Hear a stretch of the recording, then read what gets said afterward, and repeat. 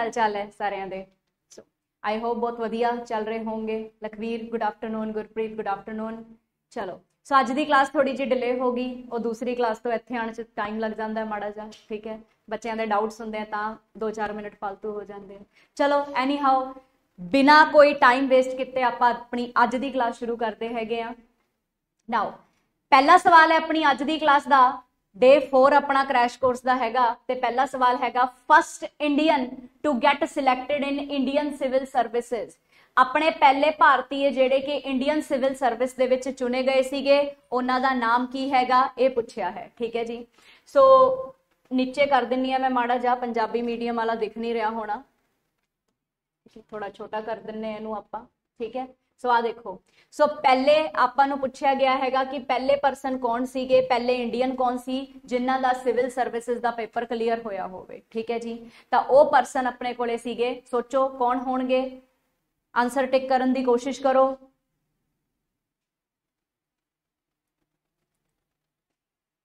ਹਾਂਜੀ। ਸੋ ਪਹਿਲੇ ਪਰਸਨ ਆਪਣੇ ਕੋਲੇ ਸੀ ਜੀ, ਸਤੇਂਦਰਨਾਥ ਟੈਗੋਰ, ਜਿਨ੍ਹਾਂ ਦਾ ਆਈਸੀਐਸ ਯਾਨੀ ਕਿ ਸਿਵਲ ਸਰਵਿਸ ਦਾ ਪੇਪਰ ਕਲੀਅਰ ਸੀਗਾ, ਠੀਕ ਹੈ ਜੀ? ਸੋ ਬੇਟਾ ਇਹ ਪੀਡੀਐਫ ਹੈ, ਇਹਦੇ ਉੱਤੇ ਮੈਥੋਂ ਲਿਖਿਆ ਨਹੀਂ ਜਾਣਾ। ਸੋ ਤੁਸੀਂ ਆਨਸਰ ਨੋਟ ਕਰ ਲਓ ਇਸ ਦੇ ਉੱਤੇ। ਸੋ ਆਨਸਰ ਬਣੂਗਾ ਆਪਣੇ ਪਹਿਲੇ ਸਵਾਲ ਦਾ, ਉਹ ਬਣੂਗਾ ਜੀ ਸਤੇਂਦਰਨਾਥ ਟੈਗੋਰ। ਠੀਕ ਹੈ। ਸੋ ਇਹ ਡਾਕਟਰ ਸੌਰੀ ਆਪਣੇ ਰਵਿੰਦਰਨਾਥ ਟੈਗੋਰ ਜੀ ਦੇ ਵੱਡੇ ਭਰਾ ਸੀਗੇ, ਠੀਕ ਹੈ? ਹੁਣ ਮਾੜਾ ਜਿਹਾ ਦੇਖ ਲਈਏ ਇੰਡੀਅਨ ਸਿਵਲ ਸਰਵਿਸ ਦੇ ਪੇਪਰ ਦੇ ਬਾਰੇ।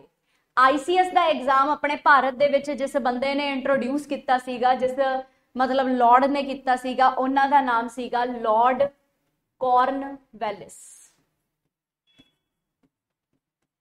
ਸੋ ਲਾਰਡ ਕਾਰਨਵੈਲਿਸ ਨੂੰ ਫਾਦਰ ਆਫ ਸਿਵਲ ਸਰਵਿਸਿਜ਼ ਵੀ ਕਿਹਾ ਜਾਂਦਾ ਹੈਗਾ ਆਪਣੇ ਦੇਸ਼ ਦੇ ਵਿੱਚ। ਲੇਕਿਨ ਇਸੇ ਦੇ ਨਾਲ ਨਾਲ ਇਹਨਾਂ ਨੇ ਪਰਮਾਨੈਂਟ ਸੈਟਲਮੈਂਟ ਸਿਸਟਮ ਵੀ ਦਿੱਤਾ ਸੀਗਾ। ਸੋ ਪਰਮਾਨੈਂਟ ਸੈਟਲਮੈਂਟ ਸਿਸਟਮ ਕੀ ਸੀਗਾ? ਕਿ ਜਦੋਂ ਕਿਸਾਨਾਂ ਤੋਂ ਲਗਾਨ ਵਸੂਲ ਕਰਨਾ ਹੁੰਦਾ ਸੀ ਨਾ ਬੇਟਾ, ਤਾਂ ਇਹਨਾਂ ਨੇ ਨਾ ਉਸ ਸਿਸਟਮ ਨੂੰ ਪੂਰਾ ਫਿਕਸ ਕੀਤਾ ਹੋਇਆ ਸੀਗਾ। ਕਿ ਮਤਲਬ ਆਪਾਂ 15% 20% ਜਾਂ 25% ਲੈਣਾ ਹੀ ਲੈਣਾ ਹੈ। ਹੁਣ ਚਾਹੇ ਚਾਹੇ ਖੇਤੀ ਵਧੀਆ ਹੋਈ ਹੋਵੇ, ਚਾਹੇ ਮਾੜੀ ਹੋਈ ਹੋਵੇ, ਸਾਨੂੰ ਤਾਂ ਸਾਡੇ ਲਗਾਨ ਤੋਂ ਮਤਲਬ ਹੈ। ਸੋ ਇਹੋ ਜਿਹਾ ਪਰਮਾਨੈਂਟ ਸੈਟਲਮੈਂਟ ਇਹਨਾਂ ਨੇ ਕਰ ਦਿੱਤਾ ਸੀਗਾ ਜ਼ਮੀਨਦਾਰੀ ਸਿਸਟਮ ਦੇ ਅੰਦਰ ਹੀ, ਠੀਕ ਹੈ? ਸੋ ਇਹ ਕੰਮ ਕੀਤਾ ਸੀ ਜੀ ਲਾਰਡ ਕਾਰਨਵੈਲਿਸ ਨੇ, ਠੀਕ ਹੈ ਜੀ? ਤੇ ਪੇਪਰ ਵੀ ਇਹਨਾਂ ਨੇ ਹੀ ਸ਼ੁਰੂ ਕਰਾਏ ਸੀ ਆਪਣੇ ਦੇਸ਼ ਦੇ ਵਿੱਚ ਕਾਰਨਵੈਲਿਸ ਨੇ। ਠੀਕ ਹੈ? ਇਹਨੂੰ ਯਾਦ ਰੱਖਣ ਦਾ ਨਾ ਤੁਸੀਂ ਇੱਕ ਛੋਟਾ ਜਿਹਾ ਫੰਡਾ ਲਗਾ ਸਕਦੇ ਹੋ, ਠੀਕ ਹੈ? ਮੈਂ ਫੰਡਾ ਕਹੂੰਗੀ, ਉਹਨੂੰ ਟ੍ਰਿਕ ਵੀ ਨਹੀਂ ਕਹੂੰਗੀ, ਕਿਉਂਕਿ ਇਹ ਤਰੀਕੇ ਹੀ ਹੁੰਦੇ ਆ ਜੀਕੇ ਨੂੰ ਯਾਦ ਰੱਖਣ ਦੇ ਬਸ, ਠੀਕ ਹੈ? ਕਾਰਨਵੈਲਿਸ ਦੇ ਵਿੱਚ ਇੱਕ ਸ਼ਬਦ ਲੈ ਲਓ ਕਾਰਨ ਕਾਰਨ ਦਾ ਮਤਲਬ ਕੀ ਹੁੰਦਾ ਹੈ ਜਨਾਬ? ਮੱਕੀ। ਤੇ ਮੱਕੀ ਆਪਾਂ ਕਿਹੋ ਜੀ ਖਾਂਦੇ ਆ? ਪੱਕੀ, ਠੀਕ ਹੈ? ਮੱਕੀ ਆਪਾਂ ਕਿਹੋ ਜੀ ਖਾਂਦੇ ਆ ਪੱਕੀ। ਇਹ ਬੇਬੀ ਕੋਰਨ ਖਾਣ ਦਾ ਰਿਵਾਜ ਤਾਂ ਨਾ ਅੰਗਰੇਜ਼ਾਂ ਦਾ ਜ਼ਿਆਦਾ ਹੈਗਾ, ਮਤਲਬ ਬਾਹਰਲੀ ਕੰਟਰੀਜ਼ ਦਾ ਜ਼ਿਆਦਾ ਹੈਗਾ, ਆਪਣੇ ਦੇਸ਼ ਦਾ ਪੱਕੀ ਹੋਈ ਪੂਰੀ ਵਾਲੀ ਜਿਹੜੀ ਹੈ ਛੱਲੀ ਖਾਈ ਜਾਂਦੀ ਹੈ। ਸੋ ਮੱਕੀ ਆਪਾਂ ਖਾਂਦੇ ਆ ਪੱਕੀ। ਸੋ ਪੱਕੀ ਚੀਜ਼ ਯਾਨੀ ਕਿ ਕਿਹੜੀ ਹੁੰਦੀ ਹੈ? ਜਿਹੜੀ ਪਰਮਾਨੈਂਟ ਹੁੰਦੀ ਹੈ, ਉਹ ਪੱਕੀ ਹੁੰਦੀ ਹੈ। ਤੇ ਪੱਕੀ ਸਰਕਾਰੀ ਨੌਕਰੀ ਵੀ ਅਗਰ ਤੁਸੀਂ ਲੈਣੀ ਹੈ, ਤਾਂ ਪੱਕੀ ਸਰਕਾਰੀ ਨੌਕਰੀ ਆਪਾਂ ਨੂੰ ਮਿਲਦੀ ਹੈ ਪੇਪਰ ਕਲੀਅਰ ਕਰਕੇ ਠੀਕ ਹੈ ਜੀ? ਸੋ ਪੱਕੀ ਸਰਕਾਰੀ ਨੌਕਰੀ ਪੇਪਰ ਕਲੀਅਰ ਕਰਕੇ ਤੁਹਾਨੂੰ ਮਿਲੂਗੀ। ਸੋ ਇਹਦੇ ਨਾਲ ਤੁਹਾਡੇ ਦੋ ਸਵਾਲ ਹੱਲ ਹੋ ਜਾਣਗੇ ਇੱਥੇ। ਕਿ ਇੱਕ ਤਾਂ ਆਪਣਾ ਕੁਐਸਚਨ ਦਾ ਆਨਸਰ ਹੀ ਸੀਗਾ ਕਿ ਕਿੰਨਾ ਨੇ ਇਸ ਨੂੰ ਸ਼ੁਰੂ ਕੀਤਾ ਸੀਗਾ। ਦੂਜਾ ਆਪਣਾ ਸਵਾਲ ਕਿ ਆਈਸੀਐਸ ਜਿਹੜਾ ਹੈਗਾ ਕਿਨੇ ਮਤਲਬ ਕਲੀਅਰ ਕਰ ਲਿਆ ਸੀਗਾ? ਸਭ ਤੋਂ ਪਹਿਲੀ ਵਾਰ ਪਹਿਲਾ ਇੰਡੀਅਨ ਕੌਣ ਸੀਗੇ? ਕਾਰਨਵੈਲਿਸ ਸਾਹਿਬ ਨੇ ਪਰਮਾਨੈਂਟ ਸੈਟਲਮੈਂਟ ਦਿੱਤਾ ਸੀ। ਆ ਤੀਜਾ ਸਵਾਲ। ਹਲਕੀ ਜੀ ਟ੍ਰਿਕ ਲਗਾਣੀ ਹੈ ਬਸ। ਨਾਲ ਦੀ ਨਾਲ ਤੁਹਾਡਾ ਆਨਸਰ ਕਲੀਅਰ ਠੀਕ ਹੈ ਜੀ? ਸੋ ਇਸ ਤਰੀਕੇ ਦੇ ਨਾਲ ਬਣ ਗਿਆ ਜੀ ਆਪਣਾ ਸੋਲੂਸ਼ਨ ਨੈਕਸਟ ਅਗਲੇ ਸਵਾਲ ਨੂੰ ਆਪਾਂ ਦੇਖਦੇ ਹਾਂ ਕਿ ਅਗਲਾ ਸਵਾਲ ਆਪਣਾ ਕੀ ਹੈ। ਹਾਂਜੀ। ਸੋ ਅਗਲਾ ਸਵਾਲ ਹੈ ਆਪਣੇ ਕੋਲੇ। First census of India was conducted during the time of which viceroy ਕਿਹੜੇ ਵਾਇਸਰਾਏ ਦੇ ਸਮੇਂ ਦੇ ਵਿੱਚ ਪਹਿਲਾ ਸੈਂਸਸ ਆਪਣੇ ਭਾਰਤ ਦੇ ਵਿੱਚ ਕੰਡਕਟ ਹੋ ਗਿਆ ਸੀਗਾ? ਠੀਕ ਹੈ ਜੀ। ਸੋ ਸਵਾਲ ਹੈਗਾ, ਭਾਰਤ ਦੀ ਪਹਿਲੀ ਜਿਹੜੀ ਜਨਗਣਨਾ ਸੀਗੀ, ਉਹ ਕਿਸ ਬੰਦੇ ਦੇ ਟਾਈਮ ਦੇ ਉੱਤੇ ਹੋਈ ਸੀ? ਠੀਕ ਹੈ ਜੀ? ਸੋ ਇਹਨੂੰ ਆਪਾਂ ਯਾਦ ਕਰਨਾ ਹੈ, ਇਹ ਆਪਾਂ ਪੜਨਾ ਹੈ। ਖੈਰ ਆਨਸਰ ਬਣੂਗਾ ਜੀ ਲਾਰਡ ਮਾਇਓ ਕੀ ਬਣੂਗਾ ਆਨਸਰ ਲਾਰਡ ਮਾਇਓ ਠੀਕ ਹੈ, ਤਾਂ ਬੀ ਆਪਸ਼ਨ ਆਪਣਾ ਆਨਸਰ ਬਣੂਗਾ। ਆਪਾਂ ਸੋਲੂਸ਼ਨ ਦੇ ਵਿੱਚ ਲਿਖ ਲੈਣੇ ਆ so B option lord Mayo ਠੀਕ ਹੈ? ਹੁਣ ਲਾਰਡ ਮਾਇਓ ਨੂੰ ਆਪਣੇ ਦੇਸ਼ ਦੇ ਵਿੱਚ ਜਨਗਣਨਾ ਕਰਨ ਦੀ ਮਾਨਤਾ ਪ੍ਰਾਪਤ ਹੈਗੀ ਹੈ ਕਿ ਇਸ ਬੰਦੇ ਨੇ ਪਹਿਲੀ ਵਾਰੀ ਕੀਤੀ ਸੀ। ਸੋ ਫਸਟ ਟਾਈਮ ਇਹਨਾਂ ਨੇ ਕਦੋਂ ਜਨਗਣਨਾ ਕੀਤੀ ਸੀਗੀ? ਇਹਨਾਂ ਨੇ ਜਨਗਣਨਾ ਕੀਤੀ ਸੀ 1872 ਦੇ ਵਿੱਚ। 1871 ਚ ਇਹਨਾਂ ਨੇ ਪੂਰਾ ਡੇਟਾ ਤਿਆਰ ਕੀਤਾ ਤੇ 72 ਤੱਕ ਇਹ ਜਨਗਣਨਾ ਕਰ ਚੁੱਕੇ ਸੀਗੇ। ਲੇਕਿਨ ਇਹ ਜਨਗਣਨਾ ਆਪਣੇ ਭਾਰਤ ਦੇ ਬੰਗਾਲ ਖੇਤਰ ਤੱਕ ਸੀਮਿਤ ਰਹਿ ਗਈ ਸੀਗੀ। ਜਿਹਦੇ ਕਰਕੇ ਅਸਲੀ ਪੂਰੇ ਇੰਡੀਆ ਦੀ ਜਿਹੜੀ ਜਨਗਣਨਾ ਹੈਗੀ ਹੈ, ਉਹ 1881 ਦੇ ਵਿੱਚ ਹੁੰਦੀ ਹੈ। ਸੋ ਐਕਚੁਅਲੀ ਦੇ ਵਿੱਚ ਫਸਟ ਸੈਂਸਸ ਤਾਂ ਆਪਣੇ ਇੰਡੀਆ 'ਚ ਨਾ ਇਸ ਟਾਈਮ ਹੁੰਦਾ ਹੈ। ਲੇਕਿਨ ਆਪਾਂ ਨੂੰ ਨਾ ਕਈ ਵਾਰੀ ਇਹ ਪੁੱਛਿਆ ਜਾਂਦਾ ਹੈ ਕਿ ਵੀ ਪਹਿਲੀ ਵਾਰ ਸੈਂਸਸ ਹੀ ਕਦੋਂ ਹੋਇਆ ਸੀ, ਤੁਸੀਂ ਬਸ ਇਹੀ ਦੱਸ ਦਿਓ। ਫੇਰ ਤਾਂ ਆਨਸਰ ਆਊਗਾ ਆਪਣਾ 1872 ਜੇ ਤੁਹਾਨੂੰ ਇਹ ਪੁੱਛਿਆ ਜਾਵੇ ਕਿ ਪੂਰੇ ਇੰਡੀਆ ਦੀ ਜਨਗਣਨਾ ਪਹਿਲੀ ਵਾਰ ਕਦੋਂ ਆਫੀਸ਼ੀਅਲੀ ਹੋ ਗਈ ਸੀ ਡਿਕਲੇਅਰ ਤਾਂ ਉਹ ਸੀ ਜੀ 1881 ਉਸ ਟਾਈਮ ਤੋਂ ਬਾਅਦ ਬੇਟਾ ਆਪਾਂ 10-10 ਸਾਲਾਂ ਦੀ ਜਨਗਣਨਾ ਕਰਦੇ ਆਂ ਠੀਕ ਹੈ?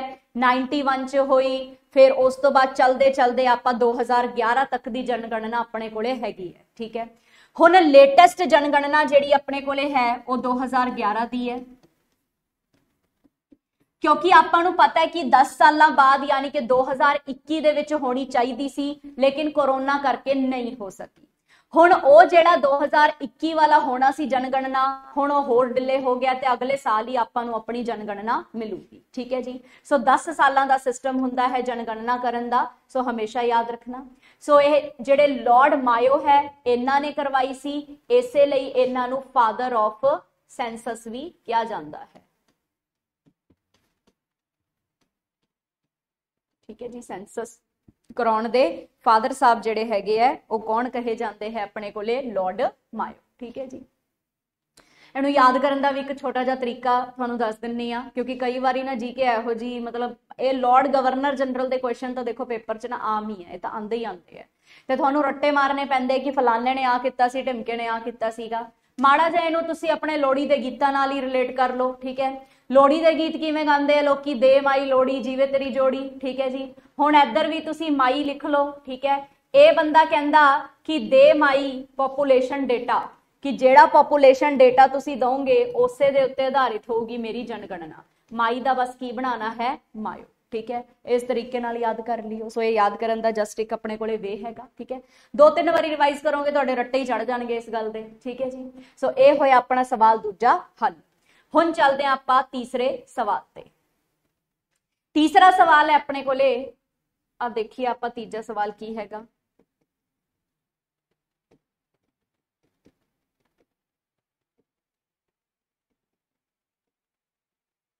ਹਾਂਜੀ ਤੀਸਰਾ ਸਵਾਲ ਹੈ ਕਿਸਨੇ ਕਿਹਾ ਸੀ swaraj is my birth right and I will have it swaraj ਮੇਰਾ ਜਨਮ ਸਿੱਧ ਅਧਿਕਾਰ ਹੈ ਅਤੇ ਮੇਰੇ ਕੋਲ ਹੋਵੇਗਾ। ਅੱਜ ਨਹੀਂ ਤਾਂ ਕੱਲ ਮੈਨੂੰ ਸਵਰਾਜ ਹਾਸਿਲ ਜ਼ਰੂਰ ਹੋਏਗਾ। ਤੁਸੀਂ ਸਾਰੇ ਹੀ ਇਸ ਸਵਾਲ ਦਾ ਜਵਾਬ ਦੇ ਸਕਦੇ ਹੋ। ਬਚਪਨ ਤੋਂ ਪੜ੍ਹਦੇ ਆ ਰਹੇ ਹੋ ਯਾਰ, ਇਹ ਕੋਈ ਨਵਾਂ ਸਵਾਲ ਥੋੜੀ ਨਾ ਹੈ। ਸੋ ਕਮੈਂਟ ਬਾਕਸ 'ਚ ਫਟਾਫਟ ਆਨਸਰ ਦਿਓ। ਕਿੰਨਾ ਨੇ ਕਿਹਾ ਸੀ, ਸਵਰਾਜ ਮੇਰਾ ਜਨਮ ਸਿੱਧ ਅਧਿਕਾਰ ਹੈ ਤੇ ਮੈਂ ਇਸ ਨੂੰ ਹਾਸਿਲ ਕਰਕੇ ਰਹੂੰਗਾ। ਇਹ ਮੈਨੂੰ ਮਿਲ ਕੇ ਰਹੂਗਾ। ਹਾਂਜੀ ਆਪਸ਼ਨ ਤੁਹਾਡੇ ਸਾਹਮਣੇ ਹੈਗੇ ਆ। सुभाष चंद्र बोस, बाल गंगाधर तिलक, औरोबिंदो घोष, मोतीलाल नेहरू। इन्हों चो कि ने क्या आंसर आया अपने को लखवीर कौर, ए ऑप्शन सुभाष चंद्र बोस।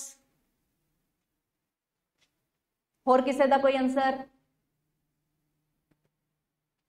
देखो स्वराज, सुभाष चंद्र बोस जी का नारा है, तुम मुझे खून दो, मैं तुम्हें आज़ादी दूँगा। ठीक है जी? ਬਾਲ ਗੰਗਾਧਰ ਤਿਲਕ ਜੀ ਨੇ ਕਿਹਾ ਸੀਗਾ ਕਿ ਸਵਰਾਜ ਮੇਰਾ ਜਨਮ ਸਿੱਧ ਅਧਿਕਾਰ ਹੈ। ਠੀਕ ਹੈ ਜੀ? ਸੋ ਇਹਦਾ ਆਨਸਰ ਕੀ ਬਣੂਗਾ ਜੀ? ਬੀ ਆਪਸ਼ਨ ਲਿਖ ਲਿਓ ਤੁਸੀਂ। ਸੋਲੂਸ਼ਨ 'ਚ ਆਪਾਂ ਲਿਖ ਲੈਣੇ ਆ ਇੱਥੇ ਆਪਣਾ। ਥਰਡ ਕੁਐਸਚਨ ਦਾ answer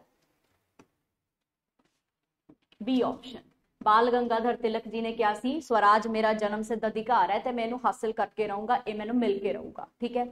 ਹੁਣ ਜਨਾਬ, ਬਾਲ ਗੰਗਾਧਰ ਤਿਲਕ ਜੀ ਜਿਹੜੇ ਹੈਗੇ ਆ, ਆਪਾਂ ਸਾਰੇ ਜਾਣਦੇ ਆ ਇਹਨਾਂ ਨੂੰ ਕਿ ਇਹਨਾਂ ਨੇ ਅੰਗਰੇਜ਼ਾਂ ਦੇ ਖਿਲਾਫ ਲੜਨ ਵਾਸਤੇ ਆਪਣੀ ਗਤੀਵਿਧੀਆਂ ਥੋੜੀ ਜਿਹੀ ਡਿਫਰੈਂਸ ਬਣਾ ਰੱਖੀਆਂ ਸੀਗੀਆਂ, ਠੀਕ ਹੈ ਜੀ? ਸੋ ਇਹਨਾਂ ਦੀ ਜਿਹੜੀ ਗਤੀਵਿਧੀਆਂ ਸੀ, ਉਹਨਾਂ ਦੇ ਤਹਿਤ ਇਹ ਨਾ ਥੋੜੇ ਜਿਹੇ ਭੜਕਾਊ ਲੈਕਚਰ 'ਚ ਦੇ ਜਾਂਦੇ ਸੀ, ਜਿਹਦੇ ਕਰਕੇ ਇਹਨਾਂ ਨੂੰ ਚੱਕ ਕੇ ਜਿਹੜਾ ਹੈ ਜੇਲ੍ਹ ਦੇ ਵਿੱਚ ਧਰ ਲਿਆ ਜਾਂਦਾ ਸੀ। ਜਿੱਥੇ ਤਾਂ ਇੰਡੀਅਨ ਨੈਸ਼ਨਲ ਕਾਂਗਰਸ ਕੀ ਕਰਦੀ ਸੀਗੀ, ਮਤਲਬ ਬਹੁਤ ਹੀ ਵਿਨਮਰਤਾ ਦੇ ਨਾਲ ਡਿਸਕਸ਼ਨ ਕਰਦੀ ਸੀ ਬ੍ਰਿਟਿਸ਼ ਗਵਰਨਮੈਂਟ ਦੇ ਨਾਲ। ਉੱਥੇ ਇਹ ਜਿਹੜੇ ਹੈਗੇ ਆ, ਲੋਕਾਂ ਨੂੰ ਭੜਕਾਊ ਲੈਕਚਰ ਦੇ ਦੇ ਕੇ ਜਿਹੜੇ ਹੈਗੇ ਆ ਸ਼ਾਮਿਲ ਕਰਦੇ ਸੀ ਆਜ਼ਾਦੀ ਦੇ ਸੰਗਰਾਮ ਦੇ ਵਿੱਚ। ਤਾਂ ਉਦੋਂ ਇਹਨਾਂ ਨੇ ਸਵਰਾਜ ਸ਼ਬਦ ਜਿਹੜਾ ਹੈ ਇਸਤੇਮਾਲ ਕੀਤਾ ਸੀਗਾ, ਠੀਕ ਹੈ? ਇਹਨਾਂ ਦੇ ਕਹਿਣ ਤੇ ਹੀ ਦਾਦਾ ਭਾਈ ਨਾਰੋਜੀ ਜਿਹੜੇ ਸੀਗੇ, ਉਹਨਾਂ ਨੇ 1906 ਦੇ ਸੈਸ਼ਨ ਦੇ ਵਿੱਚ ਵੀ ਕਿਹਾ ਸੀਗਾ ਕਿ ਸਵਰਾਜ ਸ਼ਬਦ ਜਿਹੜਾ ਹੈ ਆਪਣੇ ਇੰਡੀਆ ਦੇ ਵਾਸਤੇ ਸਹੀ ਬੈਠਦਾ ਹੈ। ਸਵਰਾਜ ਆਪਣੇ ਇੰਡੀਆ ਨੂੰ ਮਿਲਣਾ ਚਾਹੀਦਾ ਹੈ। ਸੋ ਇਹੋ ਜਿਹਾ ਨਹੀਂ ਹੈ ਜੀ ਕਿ ਗਾਂਧੀ ਜੀ ਦੇ ਆਉਣ ਤੋਂ ਬਾਅਦ ਹੀ ਇੰਡੀਪੈਂਡੈਂਸ ਦੀ ਲਹਿਰ ਸ਼ੁਰੂ ਹੋਈ ਹੈ। ਇੰਡੀਪੈਂਡੈਂਸ ਆਜ਼ਾਦੀ ਹਾਸਲ ਕਰਨ ਵਾਸਤੇ ਆਪਣਾ ਸਭ ਤੋਂ ਪਹਿਲਾ ਜਿਹੜਾ ਸ਼ਬਦ ਸੀ, ਉਹ ਸੀਗਾ ਸਵਰਾਜ। ਫਿਰ 1929 ਦੇ ਵਿੱਚ ਜਵਾਹਰ ਲਾਲ ਨਹਿਰੂ ਸਾਹਿਬ ਨੇ ਪੂਰਨ ਸਵਰਾਜ ਦੀ ਡਿਮਾਂਡ ਰੱਖੀ ਸੀਗੀ, ਠੀਕ ਹੈ? ਉਸ ਤੋਂ ਬਾਅਦ ਆਪਾਂ ਨੂੰ ਆਜ਼ਾਦੀ ਮਿਲ ਗਈ ਸੀ, ਠੀਕ ਹੈ ਜੀ? ਸੋ ਇਸ ਤਰੀਕੇ ਦੇ ਨਾਲ ਬਾਲ ਗੰਗਾਧਰ ਤਿਲਕ ਸਾਹਿਬ ਦਾ ਇਹ ਫੇਮਸ ਨਾਰਾ ਸੀਗਾ ਡਾਇਲੋਗ ਸੀਗਾ, ਬਹੁਤ ਵਧੀਆ ਆਨਸਰ ਹੈਗਾ। ਚਲੋ ਫਿਰ ਚੱਲਦੇ ਹਾਂ ਅਗਲੇ ਸਵਾਲ ਤੇ। ਤਾਂ ਅਗਲਾ ਸਵਾਲ ਹੈ ਆਪਣੇ ਕੋਲੇ, ਚੌਥਾ ਸਵਾਲ। ਇਹਨਾਂ ਵਿੱਚੋਂ ਕਿਹੜੇ ਪਰਸਨ ਕਦੇ ਵੀ ਇੰਡੀਅਨ ਨੈਸ਼ਨਲ ਕਾਂਗਰਸ ਦੇ ਪ੍ਰੈਜ਼ੀਡੈਂਟ ਨਹੀਂ ਬਣ ਪਾਏ? ਕੋਸ਼ਿਸ਼ ਕਰੋ ਆਨਸਰ ਦੇਣ ਦੀ। ਸੋਚੋ। ਇੰਡੀਅਨ ਨੈਸ਼ਨਲ ਕਾਂਗਰਸ ਦੇ ਕਿਹੜੇ ਪਰਸਨ ਕਦੇ ਵੀ ਪ੍ਰੈਜ਼ੀਡੈਂਟ ਦੀ ਕੁਰਸੀ ਤੇ ਨਹੀਂ ਬੈਠ ਸਕੇ ਇਹਨਾਂ ਚੋਂ? ਮਹਾਤਮਾ ਗਾਂਧੀ, ਬਾਲ ਗੰਗਾਧਰ ਤਿਲਕ, ਗੋਪਾਲ ਕ੍ਰਿਸ਼ਨ ਗੋਖਲੇ ਆ ਸੁਭਾਸ਼ ਚੰਦਰ ਬੋਸ? ਕਦੇ ਵੀ ਪ੍ਰੈਜ਼ੀਡੈਂਟ ਨਹੀਂ ਬਣੇ। ਸੋਚੋ ਬੇਟਾ ਪਾਰਟਿਸਿਪੇਟ ਕਰੋ। ਦੇਖੋ ਕੀ ਆਨਸਰ ਬਣਾਓਗੇ ਤੁਸੀਂ ਇਸ ਸਵਾਲ ਦਾ।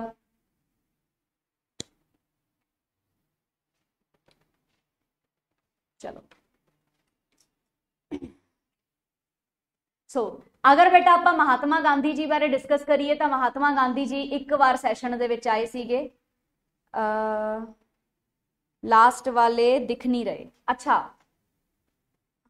ਆ ਲੋ ਜੀ ਥੋੜਾ ਜਿਹਾ ਇਹਨੂੰ ਪੇਜ ਨੂੰ ਥੋੜਾ ਛੋਟਾ ਹੋਰ ਕਰ ਲੈਣੇ ਆਪਾਂ ਹੁਣ ਸ਼ਾਇਦ ਮੇ ਵੀ ਦਿਖ ਗਏ ਹੋਣਗੇ ਹਨਾ ਦੇਖੋ ਹੁਣ ਦਿਖ ਰਿਹਾ ਸਾਰਿਆਂ ਨੂੰ ਠੀਕ ਹੈ ਲਾਸਟ ਦੇ ਵਿੱਚ ਬੇਟਾ ਗੋਪਾਲ ਕ੍ਰਿਸ਼ਨ ਗੋਖਲੇ ਤੇ ਸੁਭਾਸ਼ ਚੰਦਰ ਬੋਸ ਹੈ।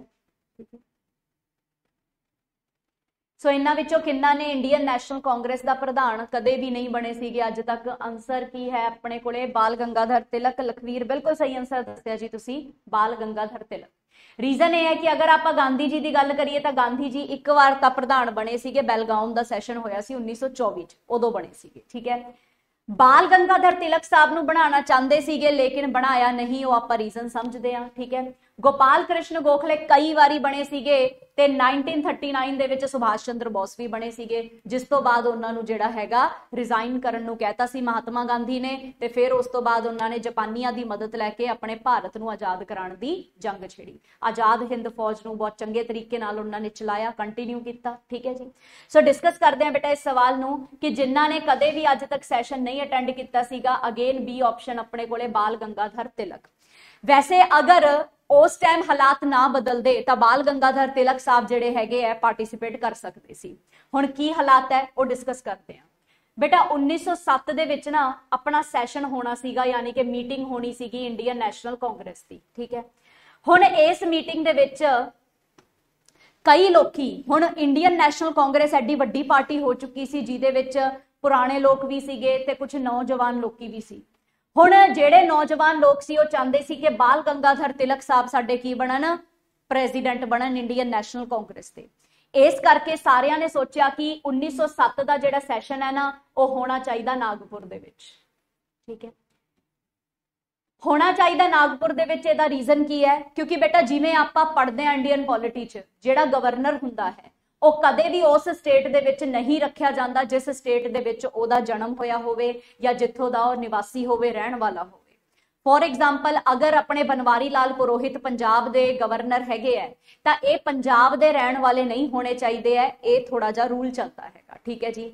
ਤਾਂ ਕਿ ਪਕਸ਼ਪਾਤ ਨਾ ਹੋਵੇ, ਇਹ ਕੁਝ ਰੀਜ਼ਨਸ ਹੁੰਦੇ ਹੈ। ਸੋ ਬਨਵਾਰੀ ਲਾਲ ਪੁਰੋਹਿਤ ਜੀ ਮੱਧ ਪ੍ਰਦੇਸ਼ ਤੋਂ ਹੈਗੇ ਆ ਜਿਹੜੇ ਆਪਾਂ ਆਪਣੇ ਪੰਜਾਬ ਦੇ ਵਿੱਚ ਲੈ ਕੇ ਆਏ, ਇਹਨਾਂ ਨੂੰ ਆਪਾਂ ਗਵਰਨਰ ਬਣਾਇਆ, ਠੀਕ ਹੈ ਸੋ ਪ੍ਰੈਜ਼ੀਡੈਂਟ ਸਾਹਿਬ ਇਸੇ ਤਰੀਕੇ ਦੇ ਨਾਲ ਜਿਹੜੇ ਹੈ ਗਵਰਨਰ ਨੂੰ ਨਿਯੁਕਤ ਕਰਦੇ ਹੈ ਅਲੱਗ-ਅਲੱਗ ਸਟੇਟਾਂ ਦੇ ਵਿੱਚ, ਇਹ ਆਪਣੇ ਸੰਵਿਧਾਨ ਦੇ ਵਿੱਚ ਲਿਖਿਆ ਹੋਇਆ ਹੈ। ਹੁਣ ਇੱਧਰ ਵੀ ਬੇਟਾ ਆਹੀ ਚੀਜ਼ ਸੀਗੀ ਇੰਡੀਅਨ ਨੈਸ਼ਨਲ ਕਾਂਗਰਸ ਦਾ ਇੱਕ ਰੂਲ ਸੀਗਾ ਕਿ ਜਿੱਥੇ ਸੈਸ਼ਨ ਹੋਏਗਾ, ਉੱਥੋਂ ਦਾ ਪਰਸਨ ਜਿਹੜਾ ਹੈ, ਉੱਥੋਂ ਦਾ ਰਹਿਣ ਵਾਲਾ ਨਿਵਾਸੀ ਜਾਂ ਜਨਮ ਲਿਆ ਹੋਇਆ ਨਹੀਂ ਹੋਣਾ ਚਾਹੀਦਾ। ਹੁਣ ਇਸੇ ਲਈ ਸਾਰੇ ਚਾਹੁੰਦੇ ਸੀਗੇ ਕਿ ਨਾਗਪੁਰ 'ਚ ਸੈਸ਼ਨ ਹੋਵੇ, ਕਿਉਂਕਿ ਅਗਰ ਨਾਗਪੁਰ 'ਚ ਸੈਸ਼ਨ ਹੋਏਗਾ ਤਾਂ ਬਾਲ ਗੰਗਾਧਰ ਤਿਲਕ ਸਾਹਿਬ ਨੂੰ ਆਪਾਂ ਜਿਹੜਾ ਹੈਗਾ ਅਧਿਅਕਸ਼ ਬਣਾਵਾਂਗੇ। ਕਿਉਂਕਿ ਬਾਲ ਗੰਗਾਧਰ ਤਿਲਕ ਸਾਹਿਬ ਬੰਬੇ ਦੇ ਸੀਗੇ, ਉਹਨਾਂ ਜ਼ਮਾਨਿਆਂ 'ਚ ਬੰਬੇ ਹੀ ਹੁੰਦਾ ਸੀ। ਹੁਣ ਤਾਂ ਗੁਜਰਾਤ ਅਲੱਗ ਹੋ ਗਿਆ, ਮਹਾਰਾਸ਼ਟਰ ਅਲੱਗ ਹੋ ਗਿਆ, ਪਹਿਲਾਂ ਬੰਬੇ ਹੁੰਦਾ ਸੀ। ਇਹ ਬੰਬੇ ਦੇ ਰਹਿਣ ਵਾਲੇ ਸੀ ਤੇ ਬੰਬੇ ਦਾ ਬੰਦਾ ਰਿਹਾ ਹੋਇਆ ਕਿਤੇ ਹੋਰ ਹੀ ਜਾ ਕੇ ਸੈਸ਼ਨ ਕਰ ਸਕਦਾ ਹੈ। ਸੋ ਨਾਗਪੁਰ ਦੇ ਵਿੱਚ ਸੈਸ਼ਨ ਹੁੰਦਾ ਤਾਂ ਬਾਲ ਗੰਗਾਧਰ ਤਿਲਕ ਸਾਹਿਬ ਜਿਹੜੇ ਹੈਗੇ ਆ, ਜ਼ਰੂਰ ਬੈਠਦੇ। ਲੇਕਿਨ ਇੰਡੀਅਨ ਨੈਸ਼ਨਲ ਕਾਂਗਰਸ ਦੇ ਵਿੱਚ ਜਿਹੜੇ ਵੱਡੇ ਬਜ਼ੁਰਗ ਪੁਰਾਣੇ ਲੋਕੀ ਬੈਠੇ ਸੀਗੇ, ਉਹ ਕਹਿੰਦੇ ਸੀਗੇ ਕਿ ਅਗਰ ਬਾਲ ਗੰਗਾਧਰ ਤਿਲਕ ਅਧਿਕਸ਼ ਬਣ ਗਏ ਤਾਂ ਇਹਨਾਂ ਨੇ ਆਪਣੇ ਆਪ ਦੀ ਹੀ ਚਲਾਣੀ ਹੈ। ਇਹਨਾਂ ਨੇ ਆਜ਼ਾਦੀ ਹਾਸਲ ਕਰਨ ਦਾ ਤਰੀਕਾ ਜਿਹੜਾ ਹੈਗਾ ਨਾ, ਉਹ ਹੋਰ ਹੀ ਰੱਖਣਾ ਹੈਗਾ। ਇਹਨਾਂ ਨੇ ਮਤਲਬ ਰੈਵੋਲੂਸ਼ਨ ਆਈਡੀਆਜ਼ ਦੇਣੇ ਹੈਗੇ ਆ ਲੋਕਾਂ ਨੂੰ, ਕ੍ਰਾਂਤੀਕਾਰੀ ਵਿਚਾਰ ਦੇਣੇ ਹੈਗੇ ਆ, ਠੀਕ ਹੈ? ਜਦ ਕਿ ਜਿਹੜੇ ਮੋਡਰੇਟ ਸੀਗੇ, ਜਿਨ੍ਹਾਂ ਨੂੰ ਆਪਾਂ ਨਰਮ ਦਲ ਵਾਲੇ ਕਹਿੰਦੇ ਆ ਨਰਮ ਦਲ ਵਾਲੇ ਕਹਿੰਦੇ ਸੀਗੇ ਕਿ ਨਹੀਂ ਜੀ ਸੈਸ਼ਨ ਇਹੋ ਜੀ ਜਗ੍ਹਾ ਰੱਖੀਏ ਜਿੱਥੇ ਬਾਲ ਗੰਗਾਧਰ ਤਿਲਕ ਬੈਠ ਹੀ ਨਾ ਸਕਣ। ਸੋ ਇਸ ਲਈ ਉਹਨਾਂ ਨੇ ਸੈਸ਼ਨ ਜਿਹੜਾ ਹੈ ਸੂਰਤ ਦੇ ਵਿੱਚ ਰੱਖਿਆ। ਹੁਣ ਸੂਰਤ ਬੇਟਾ ਬੰਬੇ ਦਾ ਹੀ ਏਰੀਆ ਹੈਗਾ। ਸੋ ਸੂਰਤ ਦੇ ਵਿੱਚ ਸੈਸ਼ਨ ਹੋਏਗਾ, ਤਾਂ ਬੰਬੇ ਦੇ ਵਿੱਚ ਰਹਿਣ ਵਾਲਾ ਕੋਈ ਵੀ ਬੰਦਾ ਉਸ ਦਾ ਅਧਿਕਸ਼ ਨਹੀਂ ਬਣ ਸਕਦਾ। ਸੋ ਬਾਲ ਗੰਗਾਧਰ ਤਿਲਕ ਅਧਿਕਸ਼ ਬਣੀ ਹੀ ਨਹੀਂ ਸਕੇ। ਠੀਕ ਹੈ ਜੀ? ਇਸ ਅਧਿਕਸ਼ਤਾ ਤੇ ਆਪਾਂ ਰਾਸ਼ ਬਿਹਾਰੀ ਹੋਸ਼ ਨੂੰ ਬੁਲਾਇਆ ਸੀਗਾ, ਜਿਹੜੇ ਕਿ ਬੰਗਾਲ ਤੋਂ ਆਏ ਸੀਗੇ। ਸੋ ਉਹ ਬੈਠ ਸਕਦੇ ਸੀਗੇ, ਲੇਕਿਨ ਆਪਣੇ ਸਟੇਟ ਦਾ ਬੰਦਾ ਜਿਹੜਾ ਹੈ, ਨਹੀਂ ਬੈਠ ਸਕਦਾ ਸੀ। ਸੋ ਬਾਲ ਗੰਗਾਧਰ ਤਿਲਕ ਸਾਹਿਬ ਕਿਤੇ ਨਾ ਕਿਤੇ ਸੈਸ਼ਨ ਪ੍ਰੈਸਾਈਡ ਕਰ ਸਕਦੇ ਸੀਗੇ, ਲੇਕਿਨ ਇਹਨਾਂ ਨੂੰ ਤੁਸੀਂ ਇਹ ਲਗਾ ਲਓ, ਕਰਨ ਹੀ ਨਹੀਂ ਦਿੱਤਾ ਗਿਆ। ਤੇ ਇਹੀ ਉਹ ਸੂਰਤ ਦਾ ਸੈਸ਼ਨ ਹੈ ਬੇਟਾ, ਜਿਸ ਦੇ ਵਿੱਚ ਇੰਡੀਅਨ ਨੈਸ਼ਨਲ ਕਾਂਗਰਸ ਦੇ ਦੋ ਟੋਟੇ ਹੋ ਗਏ ਸੀਗੇ। ਇੱਕ ਥਾਂ ਤੇ ਨਰਮ ਦਲ ਵਾਲੇ ਬਣ ਗਏ ਸੀਗੇ ਤੇ ਇੱਕ ਥਾਂ ਤੇ ਬਣ ਗਏ ਸੀਗੇ ਗਰਮ ਦਲ ਵਾਲੇ। ਠੀਕ ਹੈ ਜੀ। ਸੋ ਨਰਮ ਦਲ ਵਾਲਿਆਂ ਦੇ ਵਿੱਚ ਜਿਹੜੇ ਨਰਮ ਤਰੀਕੇ ਦੇ ਨਾਲ ਕਰਦੇ ਸੀ, ਜਿਵੇਂ ਕਿ ਆਪਣੇ ਗੋਪਾਲ ਕ੍ਰਿਸ਼ਨ ਗੋਖਲੇ ਹੋ ਗਏ ਜੀ, ਫਿਰੋਜ਼ ਸ਼ਾਹ ਮਹਿਤਾ ਹੋ ਗਏ, ਠੀਕ ਹੈ, ਇਹੋ ਜਿਹੇ ਲੋਕ ਸੀਗੇ। ਡਬਲਯੂ ਸੀ ਬਨਰਜੀ ਹੋ ਗਏ, ਠੀਕ ਹੈ। ਜਦ ਕਿ ਇਧਰਲੇ ਵਾਲੇ ਗਰਮ ਵਾਲੇ ਪਾਸੇ ਤਾਂ ਆਪਾਂ ਨੂੰ ਪਤਾ ਹੀ ਆਪਣੀ ਤਿਕੜੀ ਬੜੀ ਫੇਮਸ ਹੈ, ਲਾਲ ਬਾਲ ਤੇ ਪਾਲ, ਠੀਕ ਹੈ। ਲਾਲ ਤੋਂ ਲਾਲਾ ਲਾਜਪਤ ਰਾਏ ਜੀ, ਬਾਲ ਤੋਂ ਬਾਲ ਗੰਗਾਧਰ ਤਿਲਕ ਜੀ ਤੇ ਪਾਲ ਤੋਂ ਕੌਣ ਬਣਨਗੇ ਆਪਣੇ ਕੋਲੇ? ਵਿਪਿਨ ਚੰਦਰ ਪਾਲ। ਠੀਕ ਹੈ ਜੀ, ਵਿਪਿਨ ਚੰਦਰ ਪਾਲ। ਸੋ ਇਸ ਤਰੀਕੇ ਦੇ ਨਾਲ ਇਹ ਤਿੰਨ ਦੀ ਟੁਕੜੀ ਤੇ ਇਹਨਾਂ ਦੇ ਨਾਲ ਔਰੋਬਿੰਦੋ ਘੋਸ਼ ਵੀ ਸ਼ਾਮਿਲ ਸੀਗੇ। ਸੋ ਇਹੋ ਜਿਹੇ ਗਰਮ ਦਲ ਵਾਲੇ ਲੋਕੀ ਬਣੇ। ਹੁਣ ਲਾਲ ਬਾਲ ਪਾਲ ਜਿਹੋ ਜਿਹੇ ਮਤਲਬ ਤਰੀਕੇ ਨਾਲ ਭਾਰਤ ਦੀ ਆਜ਼ਾਦੀ ਹਾਸਲ ਕਰ ਰਹੇ ਸੀਗੇ, ਕ੍ਰਾਂਤੀਕਾਰੀ ਇਹਨਾਂ ਦੇ ਵਿਚਾਰ ਸੀਗੇ, ਭੜਕਾਊ ਲੈਕਚਰ ਦਿੰਦੇ ਸੀ, ਅਖਬਾਰਾਂ ਦੇ ਵਿੱਚ ਛਾਪਦੇ ਸੀਗੇ ਵਧੀਆ ਵਧੀਆ ਮੈਗਜ਼ੀਨਸ ਛਾਪਦੇ ਸੀ, ਜਿਹਦੇ ਕਰਕੇ ਪੁਲਿਸ ਇਹਨਾਂ ਨੂੰ ਰੋਜ਼ ਹੀ ਵਿਚਾਰਿਆਂ ਨੂੰ ਚੱਕ ਕੇ ਕਦੇ ਕਿੱਧਰ ਲੈ ਜਾਂਦੀ, ਕਦੇ ਕਿੱਧਰ ਲੈ ਜਾਂਦੀ, ਤਾਂ ਜੇਲ੍ਹਾਂ ਦੇ ਵਿੱਚ ਇਹ ਬੜਾ ਘੁੰਮਦੇ ਰਹਿੰਦੇ ਸੀਗੇ, ਠੀਕ ਹੈ ਜੀ। ਸੋ ਖੈਰ ਇਸ ਤਰੀਕੇ ਦੇ ਨਾਲ ਆਪਾਂ ਡਿਸਕਸ਼ਨ ਕੀਤਾ ਇਸ ਟੌਪਿਕ ਦਾ, ਤੇ ਇੱਕ ਛੋਟਾ ਜਿਹਾ ਪੁਆਇੰਟ ਜ਼ਰੂਰ ਇਸ ਫੋਰਥ ਕੁਐਸਚਨ ਦੇ ਵਿੱਚ ਲਿਖ ਲਿਓ, ਕਿ ਮਹਾਤਮਾ ਗਾਂਧੀ ਮਹਾਤਮਾ ਗਾਂਧੀ ਨੇ ਕੇਵਲ ਇੱਕੋ ਹੀ ਸੈਸ਼ਨ ਪ੍ਰੈਸਾਈਡ ਕੀਤਾ ਹੈ ਓਨਲੀ ਵਨ ਸੈਸ਼ਨ ਯਾਨੀ ਕਿ ਇੱਕ ਸੈਸ਼ਨ ਦੇ ਅਧਿਕਸ਼ ਬਣੇ ਸੀਗੇ ਤੇ ਉਹ ਸੈਸ਼ਨ ਸੀਗਾ ਆਪਣੇ ਕੋਲੇ ਬੈਲਗਾਉਂ ਦਾ ਸੈਸ਼ਨ 1924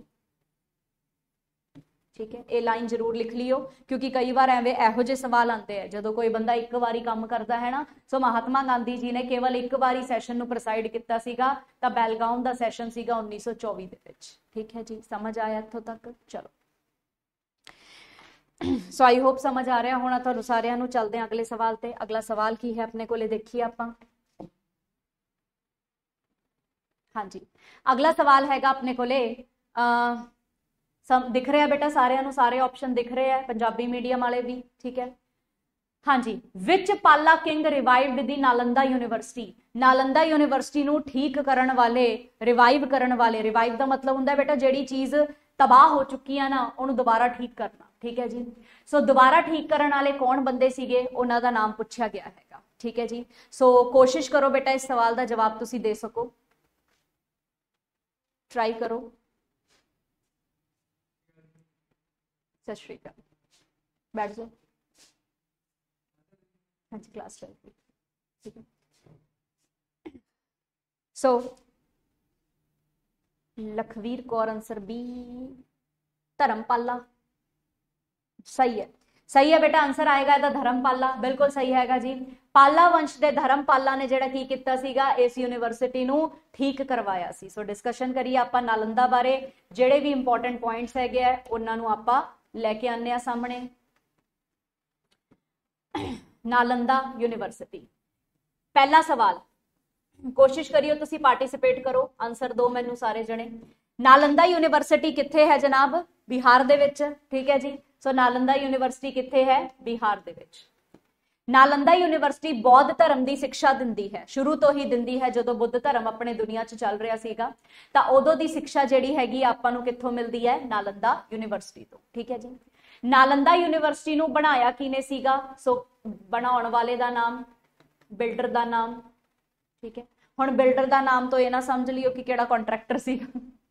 ਠੀਕ ਹੈ? ਕਿਹੜੇ ਮਿਸਤਰੀ ਸੀਗੇ? ਠੀਕ ਹੈ? ਸੋ ਬਿਲਡਰ ਦਾ ਨਾਮ ਹਮੇਸ਼ਾ ਰਾਜੇ ਦੇ ਨਾਮ ਦੇ ਅਕੋਰਡਿੰਗ ਹੁੰਦਾ ਕਿ ਰਾਜੇ ਨੇ ਬਣਵਾਈ ਹੈਗੀ ਹੈ, ਠੀਕ ਹੈ? ਤਾਂ ਉਹਦਾ ਹੀ ਨਾਮ ਚੱਲਦਾ ਹੈਗਾ। ਸੋ ਨਾਲੰਦਾ ਯੂਨੀਵਰਸਿਟੀ ਨੂੰ ਬਣਾਉਣ ਵਾਲੇ ਸੀਗੇ ਗੁਪਤਾ ਵੰਸ਼ ਦੇ ਕੁਮਾਰਾ ਗੁਪਤ। ਕੁਮਾਰ ਗੁਪਤ ਪ੍ਰਥਮ। ਕੁਮਾਰਾ ਗੁਪਤ ਵਨ ਨੇ ਨਾਲੰਦਾ ਯੂਨੀਵਰਸਿਟੀ ਬਣਵਾਈ ਸੀ, ਠੀਕ ਹੈ? ਹੁਣ ਸਵਾਲ ਆਂਦਾ ਕਿ ਨਾਲੰਦਾ ਯੂਨੀਵਰਸਿਟੀ ਤਬਾਹ ਕਿਵੇਂ ਹੋਈ ਡਿਸਟਰੋਏ ਕਿਵੇਂ ਹੋਈ? ਹੁਣ ਨਾਲੰਦਾ ਯੂਨੀਵਰਸਿਟੀ ਨੂੰ ਖਤਮ ਕਰਾਇਆ ਸੀ ਜੀ ਕੁਤੁਬਦੀਨ ਐਬਕ ਨੇ। ਕੁਤੁਬਦੀਨ ਐਬਕ। ਜਿਸ ਬੰਦੇ ਨੇ ਗੁਲਾਮ ਵੰਸ਼ ਦੀ ਸਥਾਪਨਾ ਕੀਤੀ ਸੀ ਆਪਣੇ ਇੰਡੀਆ ਦੇ ਵਿੱਚ, ਕੁਤੁਬਦੀਨ ਐਬਕ।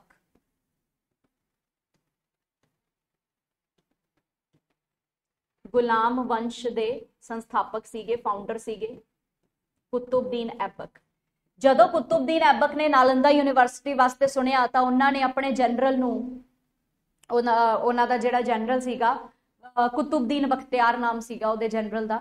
ਉਹਨੂੰ ਭੇਜਿਆ ਤੇ ਕਿਹਾ ਕਿ ਆ ਐਡੀ ਵੱਡੀ ਯੂਨੀਵਰਸਿਟੀ ਹੈ ਜਿੱਥੇ ਲੋਕੀ ਗਿਆਨ ਹਾਸਲ ਕਰਦੇ ਹੈਗੇ ਆ।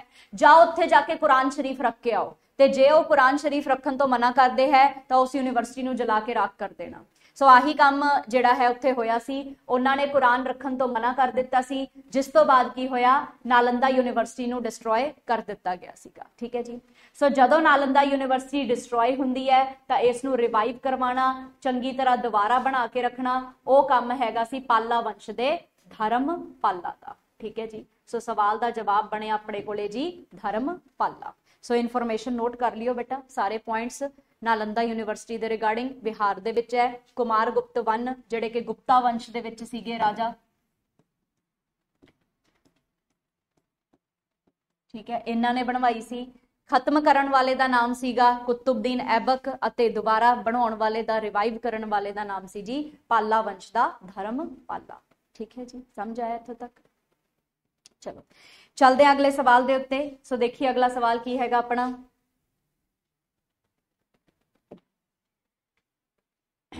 ਹਾਂਜੀ, ਅਗਲਾ ਸਵਾਲ ਹੈ। Who took away the peacock throne and Kohinoor diamond from Mughal ਮੁਗਲਾਂ ਤੋਂ ਪੀਕੌਕ ਥਰੋਨ ਯਾਨੀ ਕਿ ਜਿਹੜਾ ਤਖਤੇ ਤੌਸ ਸੀਗਾ ਤੇ ਕੋਹੀਨੂਰ ਹੀਰਾ ਸੀਗਾ, ਉਹਨੂੰ ਕੌਣ ਲੈ ਕੇ ਗਿਆ ਸੀ? ਠੀਕ ਹੈ ਜੀ। ਤਾਂ ਆਨਸਰ ਸਹੀ ਹੈ, ਬਿਲਕੁਲ। ਨਾਦਰ ਸ਼ਾ ਠੀਕ ਹੈ ਜੀ। ਨਾਦਰ ਸ਼ਾ ਲੈ ਕੇ ਗਿਆ ਸੀਗਾ। ਸੋ ਦੇਖੀਏ ਇਹਦੇ ਬਾਰੇ, ਆਪਾਂ ਤਖਤੇ ਤੌਸ ਬਾਰੇ ਤੇ ਕੋਹੀਨੂਰ ਬਾਰੇ ਗੱਲ ਕਰੀਏ। ਦੇਖੋ, ਕੋਹੀਨੂਰ ਦਾ ਡਿਸਕਸ਼ਨ ਆਪਾਂ ਆਪਣੀ ਪਹਿਲਾਂ ਦੀ ਕਲਾਸ ਦੇ ਵਿੱਚ ਵੀ ਕੀਤਾ ਹੋਇਆ ਹੈ, ਕਿਉਂਕਿ ਕੋਹੀਨੂਰ ਆਪਣਾ ਦੁਨੀਆ ਦਾ ਸਭ ਤੋਂ ਵੱਡਾ ਹੀਰਾ ਹੈਗਾ ਲਾਰਜੈਸਟ ਹੀਰਾ ਹੈਗਾ, ਠੀਕ ਹੈ? ਤਾਂ ਕੋਹੀਨੂਰ ਜਿਹੜਾ ਹੈ, ਕਰਨਾਟਕਾ ਦੀ ਗੋਲਕੁੰਡਾ ਮਾਈਨਸ ਦੇ ਵਿੱਚੋਂ ਨਿਕਲਿਆ ਸੀਗਾ, ਇਹ ਡਿਸਕਸ਼ਨ ਆਪਾਂ ਕਰ ਚੁੱਕੇ ਹਾਂ ਆਲਰੇਡੀ ਆਪਣੀ ਪਿਛਲੀ ਕਲਾਸਿਸ ਦੇ ਵਿੱਚ, ਠੀਕ ਹੈ? ਹੁਣ ਕੋਹੀਨੂਰ ਤਾਂ ਚਲੋ ਸ਼ਾਹਜਹਾਨ ਤੱਕ ਜਿਵੇਂ ਮਰਜ਼ੀ ਪਹੁੰਚਿਆ, ਠੀਕ ਹੈ ਜੀ ਰੁੜਦਾ ਰੁੜਦਾ ਵਿਚਾਰਾ, ਲੇਕਿਨ ਸ਼ਾਹਜਹਾਨ ਨੇ ਬਣਵਾਇਆ ਸੀਗਾ ਤਖਤੇ ਤੌਸ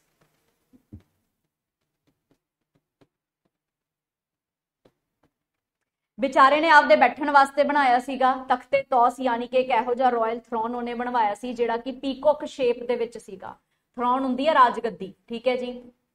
ਤਾਂ ਰਾਜਗੱਦੀ ਜਿਹੜਾ ਹੈ ਪੀਕੋਕ ਦੇ ਸ਼ੇਪ ਦੇ ਵਿੱਚ ਇਹਨੇ ਬੰਦੇ ਨੇ ਬਣਵਾਈ ਸੀ। ਤੁਸੀਂ ਨੈਟ ਤੇ ਫੋਟੋ ਦੇਖਿਓ, ਬਹੁਤ ਹੀ ਖੂਬਸੂਰਤ ਹੈ ਤਖਤੇ ਤੌਸ ਠੀਕ ਹੈ ਜੀ?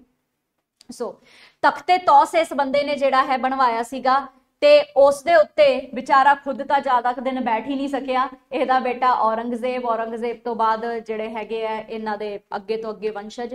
ਸ਼ਾਹ ਆਲਮ ਜਿਹੜਾ ਸੀਗਾ, ਉਹ ਆਖਰੀ ਬੰਦਾ ਸੀ ਜਿਹੜਾ ਵਿਚਾਰਾ ਬੈਠ ਪਾਇਆ। ਕਿਉਂਕਿ ਸ਼ਾਹ ਆਲਮ ਦੇ ਸਮੇਂ ਦੇ ਵਿੱਚ ਨਾਦਰ ਸ਼ਾਹ ਨੇ ਅਟੈਕ ਕਰ ਦਿੱਤਾ ਸੀਗਾ। ਠੀਕ ਹੈ? ਸੋ ਇਹਨੂੰ ਦੇਖ, ਲਿਖ ਲਿਓ ਕਿ ਸ਼ਾਹ ਜਹਾਨ ਨੇ ਇਹਨੂੰ ਬਣਵਾਇਆ ਸੀ। ਠੀਕ ਹੈ? ਅਤੇ ਹੁਣ ਤਖਤੇ ਤੌਸ ਨੂੰ ਤੇ ਪੀਕੌਕ ਥਰੋਨ ਨੂੰ ਕੌਣ ਉਠਾ ਕੇ ਲੈ ਕੇ ਗਿਆ ਸੀ ਜੀ? ਨਾਦਰ ਸ਼ਾਹ ਉਠਾ ਕੇ ਲੈ ਕੇ ਗਿਆ ਸੀਗਾ, ਕਿਉਂਕਿ ਨਾਦਰ ਸ਼ਾਹ ਦਾ ਅਟੈਕ ਹੋਇਆ ਸੀ। ਸੋ ਕੁਐਸਚਨ ਦਾ ਆਨਸਰ ਕੀ ਬਣ ਗਿਆ ਜੀ ਆਪਣਾ? ਨਾਦਰ ਸ਼ਾਹ। ਠੀਕ ਹੈ ਜੀ। ਸੋ ਕੋਹੀਨੂਰ, ਤਖਤੇ ਤੌਸ ਤਖਤੇ ਤੌਸ ਨੂੰ ਆਪਾਂ ਕਹਿੰਦੇ ਆ ਪੀਕੌਕ ਥਰੋਨ ਸ਼ਾਹਜਹਾਨ ਨੇ ਨੂੰ ਬਣਵਾਇਆ ਸੀਗਾ। ਸ਼ਾਹ ਆਲਮ ਦੇ ਸਮੇਂ ਦੇ ਵਿੱਚ ਨਾਦਰ ਸ਼ਾਹ ਨੇ ਅਟੈਕ ਕੀਤਾ ਸੀਗਾ। ਤਾਂ ਸ਼ਾਹ ਆਲਮ ਤੋਂ ਬਾਅਦ ਇਸ ਪੀਕੌਕ ਥਰੋਨ ਤੇ ਵਿਚਾਰਾ ਕੋਈ ਮੁਗਲ ਬੈਠ ਹੀ ਨਹੀਂ ਪਾਇਆ। ਸੋ ਮੁਗਲਾਂ ਤੋਂ ਇਹ ਚੱਕ ਕੇ ਲੈ ਗਿਆ। ਠੀਕ ਹੈ ਜੀ। ਸੋ ਯਾਦ ਰੱਖਣਾ ਬੇਟਾ ਇਹ ਪੁਆਇੰਟ ਚੱਲਦੇ ਆ ਅਗਲੇ ਸਵਾਲ ਤੇ। ਦੇਖੀਏ ਅਗਲਾ ਸਵਾਲ ਕੀ ਕਹਿੰਦਾ ਆਪਾਂ ਨੂੰ। ਅਗਲਾ ਸਵਾਲ ਹੈ, ਬੀਬੀ ਕਾ ਮਕਬਰਾ ਅ ਮੋਨੂਮੈਂਟ ਬਿਲਟ ਬਾय ਬੀਬੀ ਕਾ ਮਕਬਰਾ ਕਿਨੇ ਬਣਵਾਇਆ ਸੀਗਾ? ਹਾਂਜੀ, ਸੋਚੋ ਕੀ ਆਨਸਰ ਬਣੂਗਾ ਇਹਦਾ। ਔਰੰਗਜ਼ੇਬ ਨੇ, ਠੀਕ ਹੈ। ਔਰੰਗਜ਼ੇਬ ਨੇ ਬੀਬੀ ਕਾ ਮਕਬਰਾ ਬਣਵਾਇਆ ਸੀ। ਆਨਸਰ ਕੀ ਬਣੂਗਾ ਜੀ? ਬੀ ਆਪਸ਼ਨ ਠੀਕ ਹੈ, ਦੇਖੀਏ ਆਪਾਂ ਇਹਨੂੰ। ਸੱਤਵਾਂ ਸਵਾਲ ਬੀ ਆਪਸ਼ਨ ਨਾਓ ਬੀਬੀ ਕਾ ਮਕਬਰਾ ਔਰੰਗਾਬਾਦ ਦੇ ਵਿੱਚ ਹੈ। ਖਾਸੀਅਤ ਕੀ ਹੈ ਬੇਟਾ? ਬੀਬੀ ਕਾ ਮਕਬਰਾ ਬਿਲਕੁਲ ਤਾਜ ਮਹਿਲ ਦੇ ਡਿਜ਼ਾਈਨ ਦੇ ਵਰਗਾ ਬਣਾਇਆ ਗਿਆ ਸੋ ਬੀਬੀ ਕਾ ਮਕਬਰਾ ਜਿਹੜਾ ਹੈ, ਬੀਬੀ ਕੀ ਹੁੰਦੀ ਹੈ ਵਾਈਫ ਵਾਈਫ ਠੀਕ ਹੈ ਜੀ। ਤਾਂ ਆਪਣੀ ਬੀਵੀ ਵਾਸਤੇ ਨੇ ਬੀਬੀ ਦਾ ਮਕਬਰਾ ਬਣਵਾਇਆ ਸੀਗਾ ਔਰੰਗਾਬਾਦ। ਖੈਰ, ਔਰੰਗਾਬਾਦ ਦਾ ਨਵਾਂ ਨਾਮ ਇਸ ਟਾਈਮ ਬਦਲ ਦਿੱਤਾ ਗਿਆ ਹੈ। ਸ਼ੰਭਾਜੀ ਛਤਰਪਤੀ ਸ਼ੰਭਾਜੀ ਨਗਰ ਬਣ ਚੁੱਕਿਆ ਹੈਗਾ, ਠੀਕ ਹੈ ਜੀ। ਸੋ ਔਰੰਗਾਬਾਦ ਦੇ ਵਿੱਚ ਬੀਬੀ ਦਾ ਮਕਬਰਾ ਬਣਾਇਆ ਗਿਆ ਸੀਗਾ ਤੇ ਇਹ ਉਸਨੇ ਆਪਣੀ ਵਾਈਫ ਵਾਸਤੇ ਬਣਾਇਆ ਸੀ, ਜਿਹਦਾ ਨਾਮ ਸੀਗਾ, ਉਹਦੀ ਬੀਵੀ ਦਾ ਨਾਮ ਸੀਗਾ ਦਿਲਰਾਸ ਬਾਨੂ। ਦੇਖੋ, ਵੈਸੇ ਤਾਂ ਇਤਿਹਾਸ ਦੇ ਵਿੱਚ ਜਿਹੜੇ ਰਾਜੇ ਮਹਾਰਾਜੇ ਹੁੰਦੇ, ਉਹਨਾਂ ਦੇ ਬੀਵੀਆਂ ਨੂੰ ਪੜਨਾ ਜ਼ਰੂਰੀ ਨਹੀਂ ਹੁੰਦਾ। ਲੇਕਿਨ ਜਿਨ੍ਹਾਂ ਨੇ ਕੋਈ ਕੰਮ ਕੀਤਾ ਹੋਵੇ ਜਾਂ ਜਿਨ੍ਹਾਂ ਦੇ ਕਰਕੇ ਕੁਝ ਬਣਿਆ ਹੋਵੇ, ਤਾਂ ਉਹ ਮਾੜਾ ਜਿਹਾ ਆਪਾਂ ਨੂੰ ਯਾਦ ਰੱਖਣਾ ਪੈ ਜਾਂਦਾ ਹੈ, ਠੀਕ ਹੈ? ਸੋ ਅਗਰ ਆਪਾਂ ਬੀਬੀ ਦਾ ਮਕਬਰਾ ਇਸ ਬੰਦੇ ਨੇ ਬਣਵਾਇਆ ਤਾਂ ਉਹਦੀ ਘਰ ਵਾਲੀ ਦਾ ਨਾਮ ਵੀ ਪਤਾ ਹੋਣਾ ਚਾਹੀਦਾ, ਦਿਲਰਾਸ ਬਾਨੋ, ਬੇਗਮ ਇਹਦਾ ਨਾਮ ਸੀਗਾ, ਠੀਕ ਹੈ ਜੀ? ਸੋ ਔਰੰਗ ਔਰੰਗਜ਼ੇਬ ਨੇ ਜਿਹੜਾ ਹੈਗਾ ਬੀਬੀ ਦਾ ਮਕਬਰਾ ਬਣਵਾਇਆ ਸੀਗਾ। ਠੀਕ ਹੈ ਜੀ? ਆ ਜਿੰਨਾ ਵੀ ਮੈਡੀਵਲ ਹਿਸਟਰੀ ਹੁੰਦਾ ਹੈ ਤੇ ਐਂਸ਼ੀਅੰਟ ਹਿਸਟਰੀ ਹੁੰਦਾ ਹੈ ਬੇਟਾ ਜ਼ਿਆਦਾਤਰ ਸਵਾਲ ਨਾ ਆਰਟ ਐਂਡ ਕਲਚਰ ਤੋਂ ਆਉਂਦੇ ਆ। ਕੁਝ ਵੀ ਤੁਸੀਂ ਬਣਾ ਰੱਖਿਆ ਹੈ, ਕੋਈ ਵੀ ਤੁਸੀਂ ਕਿਤਾਬ ਲਿਖੀ ਹੈ ਸੋ ਇਹਨਾਂ ਦੇ ਉੱਤੇ ਜ਼ਿਆਦਾ ਫੋਕਸ ਕਰੋ। ਤੁਸੀਂ ਘਰੇ ਬੈਠ ਕੇ ਪੜ੍ਹ ਰਹੇ ਹੋਵੋਗੇ ਆਪਣਾ ਪਟਵਾਰੀ ਦੇ ਪੇਪਰ ਵਾਸਤੇ, ਇਹਨਾਂ ਟੌਪਿਕਸ ਤੇ ਤੁਸੀਂ ਜ਼ਿਆਦਾ ਫੋਕਸ ਕਰੋ, ਕਿਉਂਕਿ ਅਗਰ ਮੈਡੀਵਲ ਚੋਂ ਸਵਾਲ ਆਉਂਦੇ ਤਾਂ ਅੱਜਕੱਲ ਬੇਟਾ ਯੁੱਧ ਯਾਦ ਨਹੀਂ ਆਉਂਦੇ। ਅੱਜਕੱਲ ਇਹੋ ਜਿਹੇ ਸਵਾਲ ਆਉਂਦੇ ਕਿਨੇ ਕੀ ਬਣਵਾਇਆ ਕਿਹਦੇ ਵਾਸਤੇ ਬਣਵਾਇਆ ਜਾਂ ਕਿਹੜੀ ਕਿਤਾਬ ਕਿਨੇ ਲਿਖੀ ਹੈ। ਠੀਕ ਹੈ ਜੀ? ਚਲੋ। ਚੱਲਦੇ ਆਂ ਫਿਰ ਅਗਲੇ ਸਵਾਲ ਤੇ। ਅਗਲਾ ਸਵਾਲ ਦੇਖੀਏ ਆਪਣਾ ਕੀ ਹੈ। ਹਾਂਜੀ। ਅਗਲਾ ਸਵਾਲ ਹੈ which one of the following exercise the most profound profound influence in framing the Indian constitution? ਯਾਨੀ ਕਿ ਹੇਠ ਲਿਖਿਆਂ ਵਿੱਚੋਂ ਕਿਸ ਨੇ ਭਾਰਤੀ ਸੰਵਿਧਾਨ ਨੂੰ ਬਣਾਉਣ ਵਿੱਚ ਸਭ ਤੋਂ ਡੂੰਘਾ ਪ੍ਰਭਾਵ ਪਾਇਆ? ਕਿਸ ਚੀਜ਼ ਨੂੰ ਦੇਖ ਕੇ ਆਪਾਂ ਆਪਣੇ ਭਾਰਤੀ ਸੰਵਿਧਾਨ ਨੂੰ ਸਭ ਤੋਂ ਵੱਧ ਬਣਾਇਆ ਹੈ। ਜਾਂ ਫਿਰ ਤੁਸੀਂ ਇਹ ਕਹਿ ਸਕਦੇ ਹੋ, ਸਿੱਧਾ ਸਵਾਲ ਪੁੱਛਿਆ ਜਾਵੇ ਤਾਂ, ਭਾਰਤੀ ਸੰਵਿਧਾਨ ਦੇ ਵਿੱਚੋਂ ਸਭ ਤੋਂ ਵੱਧ ਆਪਾਂ ਕਿੱਥੋਂ ਕਾਪੀ ਮਾਰਿਆ ਹੈ? ਬ੍ਰਿਟਿਸ਼ ਤੋਂ ਨਹੀਂ। ਬ੍ਰਿਟਿਸ਼ਰਸ ਨੇ ਦਿੱਤਾ ਸੀਗਾ act, government of India act 1935 C option. ਕਿਉਂਕਿ ਬੇਟਾ ਇਹ ਜਿਹੜਾ ਗਵਰਨਮੈਂਟ ਆਫ ਇੰਡੀਆ ਐਕਟ 1935 ਹੈ ਇਸ ਤੋਂ ਆਪਾਂ ਆਪਣਾ 70% ਸੰਵਿਧਾਨ ਜਿਹੜਾ ਹੈਗਾ ਉਹ ਬਣਾਇਆ ਹੈ ਬਾਕੀ ਦਾ 10% ਅਲੱਗ-ਅਲੱਗ 10 ਦੇਸ਼ਾਂ ਤੋਂ ਆਪਾਂ ਕਾਪੀ ਕੀਤਾ ਹੈਗਾ ਲੇਕਿਨ ਆ 10 70% ਤਾਂ ਆਪਾਂ ਇਸੇ ਤੋਂ ਬਣਾਇਆ ਹੈਗਾ ਠੀਕ ਹੈ ਜੀ ਸੋ ਇਹਦਾ ਆਨਸਰ ਬਣੂਗਾ ਜੀ ਸੀ ਆਪਸ਼ਨ ਕੋਈ ਗੱਲ ਨਹੀਂ ਸੋਲੂਸ਼ਨ ਚ ਲਿਖਦੇ ਆ ਡਿਸਕਸ਼ਨ ਕਰਦੇ ਆ ਇਹਦੇ ਉੱਤੇ ਆਪਾਂ 8th ਦਾ ਆਨਸਰ ਬਣੇਗਾ ਜੀ ਸੀ ਆਪਸ਼ਨ ਕਿਉਂਕਿ ਭਾਰਤ ਸਰਕਾਰ ਐਕਟ 1935 ਇਹ ਅੰਗਰੇਜ਼ਾਂ ਨੇ ਜਦੋਂ ਆਪਾਂ ਨੂੰ ਬਣਾ ਕੇ ਦਿੱਤਾ ਸੀਗਾ ਤਾਂ ਇਸ 'ਚ ਬਹੁਤ ਸਾਰੇ ਇਹੋ ਜਿਹੇ ਫੀਚਰ ਸੀ ਬੇਟਾ ਜਿਹੜੇ ਆਪਣੇ ਦੇਸ਼ ਦੇ ਆਧਾਰ ਬਣ ਸਕਦੇ ਸੀ। ਸੋ ਆਪਾਂ ਨੂੰ ਬਹੁਤ ਵਧੀਆ ਵੀ ਲੱਗਿਆ ਸੀਗਾ ਇਹ ਐਕਟ ਜਿਹਦੇ ਕਰਕੇ ਇਸ ਐਕਟ ਦੇ ਵਿੱਚੋਂ ਆਪਾਂ ਆਪਣਾ 70% ਸੰਵਿਧਾਨ ਕਾਪੀ ਕੀਤਾ ਹੈ। ਠੀਕ ਹੈ। ਇਸੇ ਲਈ 1935 ਦੇ ਐਕਟ ਨੂੰ ਬਲੂਪ੍ਰਿੰਟ ਆਫ ਕਨਸਟੀਟਿਊਸ਼ਨ ਵੀ ਕਿਹਾ ਜਾਂਦਾ ਹੈ। ਬਲੂਪ੍ਰਿੰਟ ਕਹਿ ਲਓ ਤੁਸੀਂ, ਕਾਰਬਨ ਕਾਪੀ ਕਹਿ ਲਓ ਤੁਸੀਂ, ਠੀਕ ਹੈ, ਇਹ ਕਿਹਾ ਜਾਂਦਾ ਹੈ। ਕਿਉਂਕਿ ਬਲੂਪ੍ਰਿੰਟ ਜਾਂ ਕਾਰਬਨ ਕਾਪੀ 'ਚ ਕੁਝ ਕੁਝ ਚੀਜ਼ਾਂ ਰਹਿ ਜਾਂਦੀਆਂ ਨੇ ਨਾ, ਤਾਂ ਪੂਰਾ ਪੂਰਾ ਤਾਂ ਨਹੀਂ ਆ ਪਾਉਂਦਾ, ਤਾਂ 70% ਜਿਹੜਾ ਹੈ ਆਪਾਂ ਬਣਾ ਕੇ ਚੱਲਦੇ ਆ ਸੋ ਇਹਨੂੰ ਬਲੂਪ੍ਰਿੰਟ ਜਾਂ ਕਾਰਬਨ ਕਾਪੀ ਵੀ ਕਿਹਾ ਜਾਂਦਾ ਹੈ। ਠੀਕ ਹੈ ਜੀ, ਅੱਛਾ ਸਵਾਲ ਹੈਗਾ, ਯਾਦ ਰੱਖਣਾ ਹੈ। ਚੱਲਦੇ ਆ ਅਗਲੇ ਸਵਾਲ ਤੇ। ਹਾਂਜੀ। ਅਗਲਾ ਸਵਾਲ ਹੈ ਆਪਣੇ ਕੋਲੇ। Which of the following acts introduced communal electorate in India ਹੇਠ ਲਿਖੀਆਂ ਕਾਰਵਾਈਆਂ ਵਿੱਚੋਂ ਕਿਸ ਨੇ ਭਾਰਤ ਵਿੱਚ ਫਰਕੂ ਵੋਟਾਂ ਦੀ ਸ਼ੁਰੂਆਤ ਕੀਤੀ? ਸੈਪਰੇਟ ਇਲੈਕਟੋਰੇਟ ਕੀ ਹੁੰਦਾ ਹੈਗਾ? ਇਹਨੂੰ ਪਹਿਲਾਂ ਸਮਝਦੇ ਆਂ ਤਾਂ ਕਿ ਆਪਾਂ ਨੂੰ ਇਸ ਸਵਾਲ ਦਾ ਜਵਾਬ ਮਿਲ ਜੇ। ਵੈਸੇ ਇਸ ਸਵਾਲ ਦਾ ਜਵਾਬ ਹੋਊਗਾ ਇੰਡੀਅਨ ਕਾਉਂਸਲ ਐਕਟ 1909 ਠੀਕ ਹੈ ਸੀ ਆਪਸ਼ਨ ਆਓ ਫਿਰ ਸਮਝਦੇ ਹਾਂ ਕੀ ਹੁੰਦਾ ਹੈ। ਬਹੁਤ ਹੀ ਧਾਸੂ ਕਨਸੈਪਟ ਹੈ ਬੇਟਾ ਤੇ ਧਿਆਨ ਨਾਲ ਸਾਰਿਆਂ ਨੇ ਸੁਣਨਾ, ਸਮਝਣਾ। 9th ਪੁਆਇੰਟ ਹੁਣ 9th ਸਵਾਲ ਦੇ ਵਿੱਚ ਆਪਾਂ ਨੂੰ ਦਿੱਤਾ ਹੋਇਆ ਹੈ ਇੰਡੀਅਨ ਕਾਉਂਸਲ ਐਕਟ ਇਹ ਪੀਸੀਐਸ 2018 ਦੇ ਵਿੱਚ ਪੁੱਛਿਆ ਹੋਇਆ ਸਵਾਲ ਹੈ। ਇੰਡੀਅਨ ਕਾਉਂਸਲ ਐਕਟ 1909 ਠੀਕ ਹੈ। ਪੇਪਰ ਦੇ ਵਿੱਚ ਇਹਦਾ ਦੂਜਾ ਨਾਮ ਪੁੱਛਿਆ ਸੀਗਾ। ਸੋ ਬਹੁਤ ਹੀ ਸਿੰਪਲ ਸਵਾਲ ਪੁੱਛਿਆ ਸੀ। ਇਹਦਾ ਦੂਜਾ ਨਾਮ ਕੀ ਹੈ? ਇਹਨੂੰ ਕਿਹਾ ਜਾਂਦਾ ਹੈ ਮੌਂਟੈਗ ਸੌਰੀ ਮੋਰਲੇ ਮਿੰਟੋ ਰਿਫਾਰਮਸ ਠੀਕ ਹੈ ਰਿਫਾਰਮ ਦਾ ਮਤਲਬ ਹੁੰਦਾ ਹੈ ਬੇਟਾ ਕੁਝ ਨਵਾਂ ਕ੍ਰੀਏਟ ਕਰਨਾ ਕੁਝ ਨਵਾਂ ਕਰਕੇ ਜਾਣਾ ਠੀਕ ਹੈ ਜੀ ਮੋਰਲੇ ਤੇ ਮਿੰਟੋ ਕੌਣ ਹੈ ਇਹ ਦੋ ਬੰਦਿਆਂ ਦੇ ਨਾਮ ਹੈ ਹੁਣ ਇਹ ਦੋ ਬੰਦੇ ਕੌਣ ਹੈ ਦੇਖੋ ਅੱਗੇ ਵਾਲੇ ਬੰਦੇ ਦਾ ਨਾਮ ਆਪਾਂ ਅੱਗੇ ਕਿਉਂ ਲਿਖਿਆ? ਕਿਉਂਕਿ ਉਹਦੀ ਪੋਜੀਸ਼ਨ ਵੱਡੀ ਹੈ, ਉਹਦੀ ਪੋਸਟ ਵੱਡੀ ਹੈ। ਵੱਡੇ ਬੰਦੇ ਦਾ ਨਾਮ ਅੱਗੇ ਹੀ ਲਿਖਦੇ ਆ ਠੀਕ ਹੈ ਜੀ? ਆਪਣੇ ਇੰਡੀਆ ਦੇ ਵਿੱਚ ਸਭ ਤੋਂ ਪਹਿਲਾਂ ਰਾਸ਼ਟਰਪਤੀ ਦਾ ਨਾਮ ਹੀ ਲਿਖਿਆ ਜਾਊਗਾ, ਫਿਰ ਉਪ ਰਾਸ਼ਟਰਪਤੀ ਦਾ ਲਿਖਿਆ ਜਾਊਗਾ। ਉਸੇ ਤਰੀਕੇ ਨਾਲ ਜਿਹਦੀ ਪੋਜੀਸ਼ਨ ਵੱਡੀ ਹੈ, ਉਹਦਾ ਨਾਮ ਅੱਗੇ ਲਿਖਿਆ ਜਾਊਗਾ ਤੇ ਦੂਸਰੇ ਦਾ ਪਿੱਛੇ। ਸੋ ਸਭ ਤੋਂ ਵੱਡੀ ਪੋਜੀਸ਼ਨ ਕਿਹੜੀ ਹੁੰਦੀ ਸੀ? ਮੋਰਲੇ ਸਾਹਿਬ ਜਿਹੜੇ ਸੀਗੇ, ਉਸ ਟਾਈਮ ਸੈਕਟਰੀ ਸੀਗੇ ਭਾਰਤ ਸਰਕਾਰ ਦੇ। ਠੀਕ ਹੈ ਜੀ। ਮਤਲਬ ਬ੍ਰਿਟੇਨ ਦੇ ਵਿੱਚ ਜਿੰਨੇ ਵੀ ਕੈਬਨਿਟ ਮੰਤਰੀ ਸੀ, ਉਹਨਾਂ ਕੈਬਨਿਟ ਮੰਤਰੀਆਂ ਨੂੰ ਅਲੱਗ-ਅਲੱਗ ਦੇਸ਼ ਸੌਂਪੇ ਗਏ ਸੀਗੇ। ਤਾਂ ਆਪਣੇ ਭਾਰਤ ਨੂੰ 5 ਸਾਲਾਂ ਵਾਸਤੇ ਜਿਹੜਾ ਸੌਂਪਿਆ ਸੀਗਾ, ਉਸ ਟਾਈਮ ਸੈਕਟਰੀ ਆਫ ਸਟੇਟ ਦਾ ਦਰਜਾ ਮਿਲਿਆ ਸੀਗਾ ਜੀ ਮੋਰਲੇ ਸਾਹਿਬ ਨੂੰ, ਠੀਕ ਹੈ। 1919 ਦੇ ਵਿੱਚ ਮੌਂਟੈਗਿਊ ਸਾਹਿਬ ਹੋਣਗੇ, ਲੇਕਿਨ ਫਿਲਹਾਲ 5 ਸਾਲ ਦਾ ਕਾਰਜਕਾਲ ਇਹਨਾਂ ਦਾ ਚਲਾਈਏ ਆਪਾਂ। ਮੋਰਲੇ ਸਾਹਿਬ ਕੌਣ ਸੀਗੇ? ਸੈਕਟਰੀ ਆਫ ਸਟੇਟ ਠੀਕ ਹੈ। ਤਾਂ ਸਭ ਤੋਂ ਵੱਡੀ ਪੋਜੀਸ਼ਨ ਤਾਂ ਇਹੀ ਸੀ। ਇਹਨਾਂ ਤੋਂ ਛੋਟੀ ਪੋਜੀਸ਼ਨ ਸੀਗੀ ਮਿੰਟੋ ਦੀ। ਮਿੰਟੋ ਕੌਣ ਸੀਗਾ ਉਸ ਟਾਈਮ ਦਾ? ਵਾਇਸਰਾਏ ਠੀਕ ਹੈ? ਸੋ ਇਹਨਾਂ ਦੋਨਾਂ ਨੇ ਮਿਲ ਕੇ ਹੀ ਜਿਹੜਾ ਹੈ ਸਾਰੀ ਕਾਰਵਾਈ ਕੀਤੀ। ਇਹਨਾਂ ਦੋਨਾਂ ਨੇ ਮਿਲ ਕੇ ਹੀ ਜਿਹੜਾ ਹੈਗਾ, ਕੀ ਕਰਨਾ ਹੈਗਾ ਹੁਣ? ਇਹ ਐਕਟ ਬਣਾਉਣਾ ਹੈਗਾ, ਠੀਕ ਹੈ? ਹੁਣ ਮੋਰਲੇ ਮਿੰਟੋ ਰਿਫਾਰਮਸ ਇੱਕ ਛੋਟੀ ਜੀ ਗੱਲ ਤੁਸੀਂ ਯਾਦ ਰੱਖਣਾ ਬੇਟਾ, ਕਿ ਜਿਹੜਾ ਵਾਇਸਰਾਏ ਹੁੰਦਾ ਹੈ, ਇਹਦਾ ਦਫ਼ਤਰ ਤਾਂ ਇੰਡੀਆ 'ਚ ਹੀ ਹੋਊਗਾ। ਜਿਹੜੀ ਇੰਡੀਆ ਦੀ ਇੰਪੋਰਟੈਂਟ ਸਿਟੀਜ਼ ਕਲਕੱਤਾ ਵਗੈਰਾ 'ਚ ਇਹਨਾਂ ਦੇ ਦਫ਼ਤਰ ਹੁੰਦੇ ਹੈ, ਠੀਕ ਹੈ?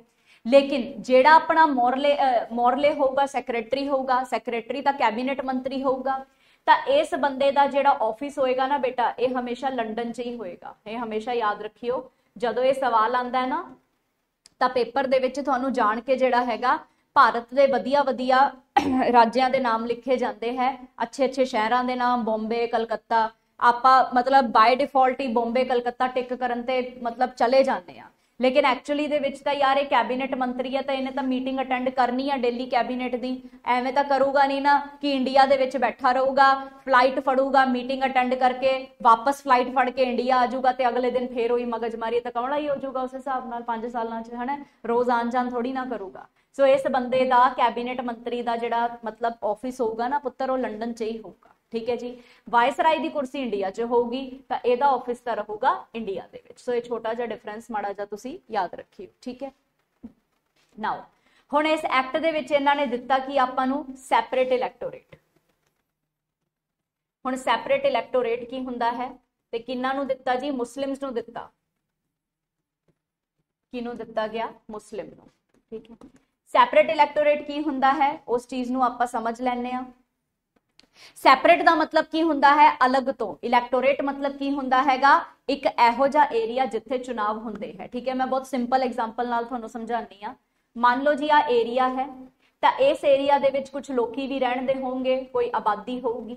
ਤਾਂ ਮਤਲਬ ਇਸ ਏਰੀਆ ਦੇ ਵਿੱਚ ਜਿੰਨੀ ਵੀ ਪੋਪੂਲੇਸ਼ਨ ਹੈ, ਅਗਰ ਉਹ ਵੋਟ ਪਾ ਸਕਦੀ ਹੈ, ਤਾਂ ਇਸ ਏਰੀਆ ਨੂੰ ਆਪਾਂ ਕੀ ਕਵਾਂਗੇ? ਇਲੈਕਟੋਰੇਟ ਬੋਲਾਂਗੇ। ਫੋਰ ਐਗਜ਼ਾਮਪਲ ਆਪਣੀ ਕਲਾਸ ਹੈ। ਕਲਾਸ ਦੇ ਵਿੱਚ ਆਪਾਂ ਕਿਸੇ ਇੱਕ ਬੱਚੇ ਨੂੰ ਮੋਨੀਟਰ ਲਗਾਉਣਾ ਹੈ। ਠੀਕ ਹੈ, ਤਾਂ ਦੋ ਤਿੰਨ ਬੱਚੇ ਕਹਿੰਦੇ ਕਿ ਅਸੀਂ ਮੋਨੀਟਰ ਬਣਨ ਦੇ ਆਪਣੇ ਆਪ ਨੂੰ ਯੋਗ ਸਮਝਦੇ ਹਾਂ। ਤਾਂ ਆਪਾਂ ਕੀ ਕਰਾਵਾਂਗੇ? ਇਲੈਕਸ਼ਨ ਕਰਾਵਾਂਗੇ। ਹੁਣ ਜਦੋਂ ਆਪਾਂ ਇਲੈਕਸ਼ਨ ਕਰਾਵਾਂਗੇ, ਤਾਂ ਵੋਟ ਕੌਣ ਪਾਊਗਾ? ਆਪਾਂ ਸਾਰੇ ਹੀ ਤਾਂ ਪਾਵਾਂਗੇ। ਕਿਸੇ ਬਾਹਰ ਵਾਲੀ ਕਲਾਸ ਦੇ ਬੰਦੇ ਨੂੰ ਥੋੜੀ ਨਾ ਬੁਲਾਵਾਂਗੇ, ਕਿਉਂਕਿ ਆਪਣੀ ਕਲਾਸ ਦਾ ਆਪਾਂ ਨੂੰ ਕੀ ਕਰਨਾ ਹੈਗਾ? ਚੁਣਾਵ ਕਰਨਾ ਹੈ। ਠੀਕ ਹੈ ਜੀ? ਸੋ ਸੈਪਰੇਟ ਇਲੈਕਟੋਰੇਟ ਮੁਸਲਿਮ ਨੂੰ ਮਿਲਣਗੇ। ਇਹਦਾ ਮਤਲਬ ਕੀ ਹੈਗਾ?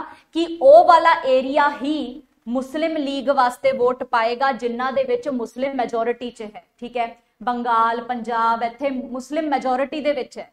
ਇਸ ਦੇ ਕਰਕੇ ਕੀ ਹੈਗਾ, ਸਿਰਫ ਮੁਸਲਿਮ ਵਾਲੇ ਏਰੀਆਜ਼ ਨੂੰ ਮੁਸਲਿਮ ਹੀ ਵੋਟ ਪਾਣਗੇ। ਠੀਕ ਹੈ?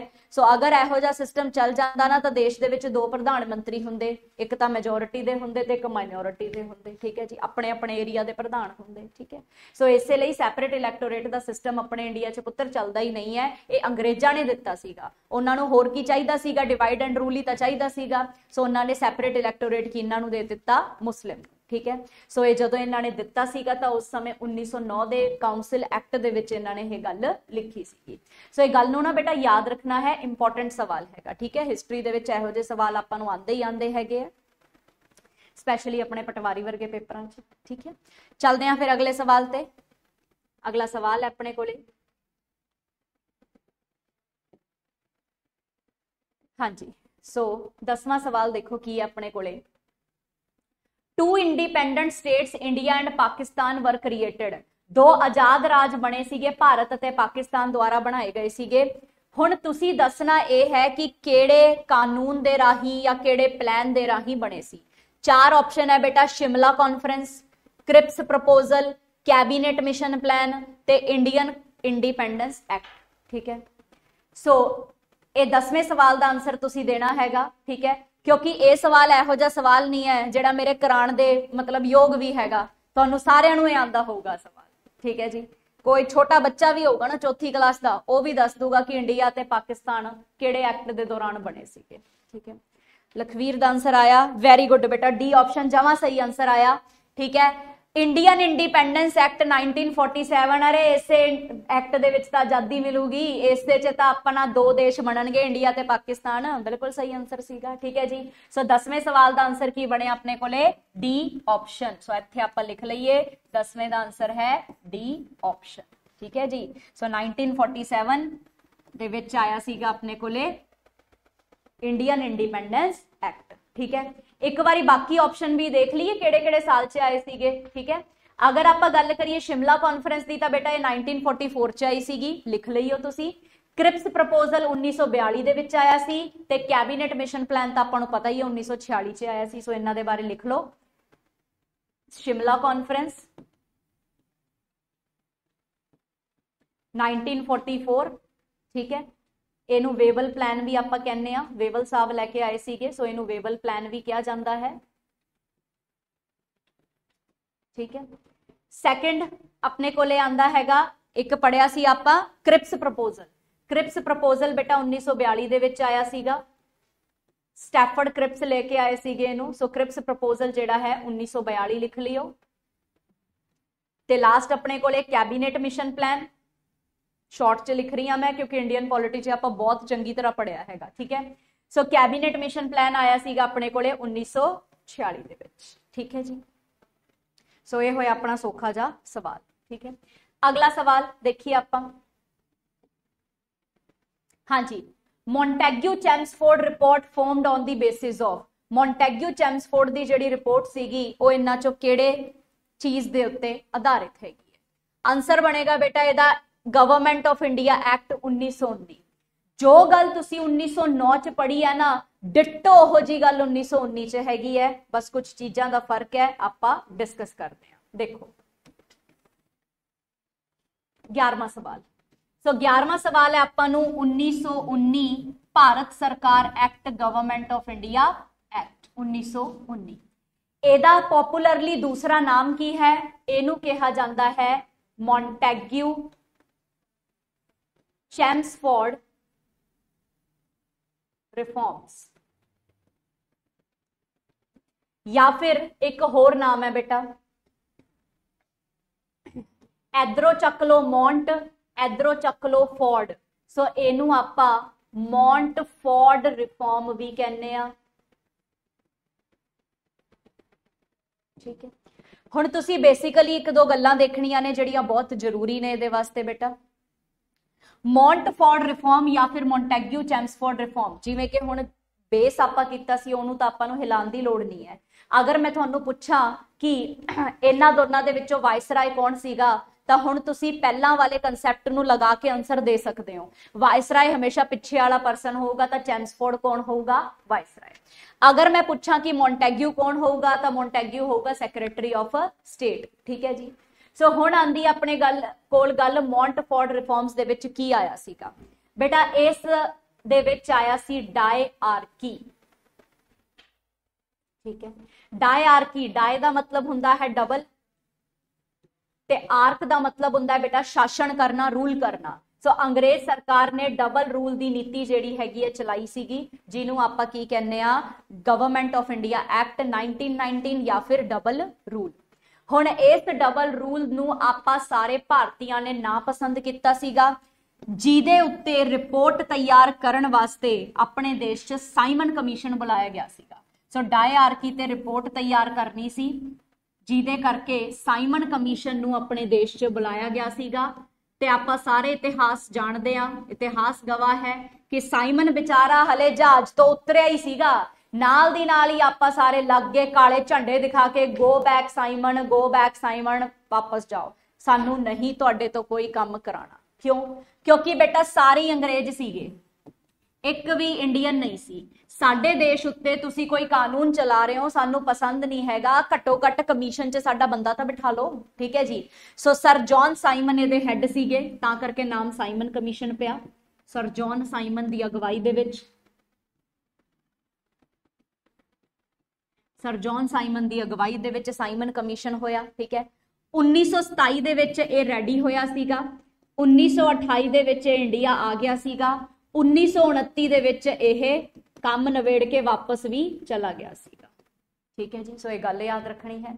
ਸੋ ਜਿਹੜੀ ਪਹਿਲੀ ਰਾਉਂਡ ਟੇਬਲ ਕਾਨਫਰੰਸ ਹੋਏਗੀ ਫਸਟ ਰਾਉਂਡ ਟੇਬਲ ਕਾਨਫਰੰਸ 1930 ਬੇਟਾ, ਉਹ ਕਿਉਂ ਹੋਏਗੀ? ਤਾਂ ਕਿ ਸਾਈਮਨ ਦੀ ਰਿਪੋਰਟ ਨੂੰ ਡਿਸਕਸ ਕੀਤਾ ਜਾ ਸਕੇ। ਠੀਕ ਹੈ ਜੀ। ਸੋ ਸਾਈਮਨ ਦੀ ਰਿਪੋਰਟ ਡਿਸਕਸ ਕਰਨ ਵਾਸਤੇ ਹੋਈ ਸੀ।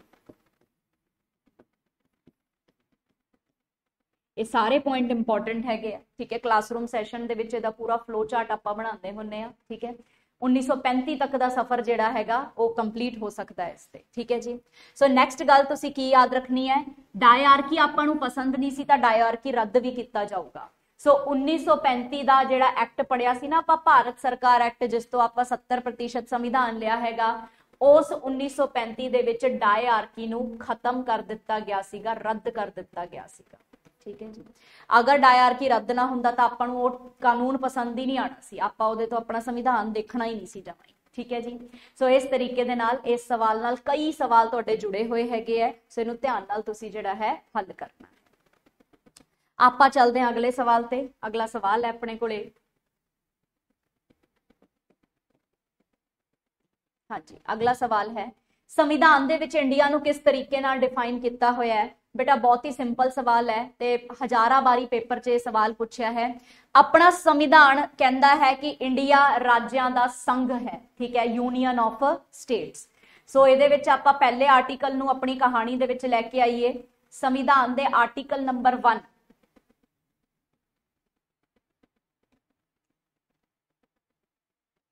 ਹਾਂਜੀ। ਸੋ 11ਵਾਂ ਸਵਾਲ ਹੈ ਕਿ 12ਵਾਂ 12ਵਾਂ ਮੈਨੂੰ ਲੱਗਦਾ। ਠੀਕ ਹੈ ਜੀ। 12ਵੇਂ ਸਵਾਲ ਦਾ ਦੇਖ ਹੀ ਲਈਏ, ਕਿਤੇ ਗੜਬੜ ਹੋ ਜਾਵੇ। ਹਾਂ 12ਵਾਂ ਹੀ ਹੈ। ਠੀਕ ਹੈ। ਹਾਂਜੀ। ਸੋ 12ਵਾਂ ਸਵਾਲ ਹੈ ਆਪਣੇ ਕੋਲੇ ਕਿ ਆਪਣਾ ਆਰਟੀਕਲ ਨੰਬਰ 1 ਅਨੁਛੇਦ ਪਹਿਲਾ ਆਫ ਦੀ ਇੰਡੀਅਨ ਕਨਸਟੀਟਿਊਸ਼ਨ ਕੀ ਕਹਿੰਦਾ ਹੈ? ਕਿ India that is Bharat that is Bharat ਇਹ ਕੀ ਹੋਣਾ ਚਾਹੀਦਾ ਹੈ? ਰਾਜਿਆਂ ਦਾ ਸੰਘ ਹੋਣਾ ਚਾਹੀਦਾ ਹੈ। Shall be the union of states ਠੀਕ ਹੈ ਜੀ। ਸੋ ਭਾਰਤ ਨੂੰ ਯੂਨੀਅਨ ਆਫ ਸਟੇਟ ਕਹਿ ਕੇ ਡਿਫਾਈਨ ਕੀਤਾ ਗਿਆ ਹੈ। ਠੀਕ ਹੈ ਜੀ। ਸੋ ਇਸ ਲਈ ਰਾਜਿਆਂ ਦਾ ਸੰਘ ਹੈ ਆਪਣਾ ਭਾਰਤ। ਠੀਕ ਹੈ ਜੀ। ਸੋ ਲਿਖ ਲਿਓ ਇਹਨੂੰ। ਯੂਨੀਅਨ ਆਫ ਸਟੇਟਸ ਮਤਲਬ ਰਾਜਾਂ ਦਾ ਸੰਘ। ਠੀਕ ਹੈ। ਸੋ ਇਸ ਹਿਸਾਬ ਨਾਲ ਆਨਸਰ ਕੀ ਬਣਿਆ ਬੇਟਾ ਆਪਣਾ? ਡੀ ਆਪਸ਼ਨ ਠੀਕ ਹੈ। ਸੋ ਯੂਨੀਅਨ ਆਫ ਸਟੇਟਸ ਕੀ ਬਣ ਗਿਆ ਜੀ ਡੀ ਆਪਸ਼ਨ ਠੀਕ ਹੈ ਨੈਕਸਟ ਦੇਖੋ ਹਾਂਜੀ ਅਗਲਾ ਸਵਾਲ ਹੈ where do we find ideals of Indian democracy in the constitution ਸੰਵਿਧਾਨ ਵਿੱਚ ਭਾਰਤੀ ਲੋਕਤੰਤਰ ਦੇ ਆਦਰਸ਼ ਸਾਨੂੰ ਕਿੱਥੇ ਮਿਲਦੇ ਹਨ ਦੱਸੋ ਬਈ ਟਰਾਈ ਕਰੋ ਇਹ ਵੀ ਬੜਾ ਸੌਖਾ ਸਵਾਲ ਹੈ ਅਗਰ ਤੁਸੀਂ ਇੰਡੀਅਨ ਪੋਲਿਟੀ ਦੀ ਕਲਾਸਾਂ ਬਹੁਤ ਚੰਗੇ ਤਰੀਕੇ ਨਾਲ ਲਗਾਈਆਂ ਨੇ ਪੁੱਤਰ ਤਾਂ ਇਸ ਸਵਾਲ ਦਾ ਜਵਾਬ ਦੇਣਾ ਕੋਈ ਔਖਾ ਕੰਮ ਨਹੀਂ ਥਰਡ ਤਾਂ ਨਹੀਂ ਹੈ ਜੀ, ਠੀਕ ਹੈ। ਡੈਮੋਕ੍ਰੇਸੀ ਲੋਕਤੰਤਰ। ਲੋਕਤੰਤਰ ਸ਼ਬਦ ਵੀ ਪੜਾਇਆ ਸੀ ਤੁਹਾਨੂੰ ਕਲਾਸ 'ਚ ਕਿ ਕਿੱਥੇ ਹੈ।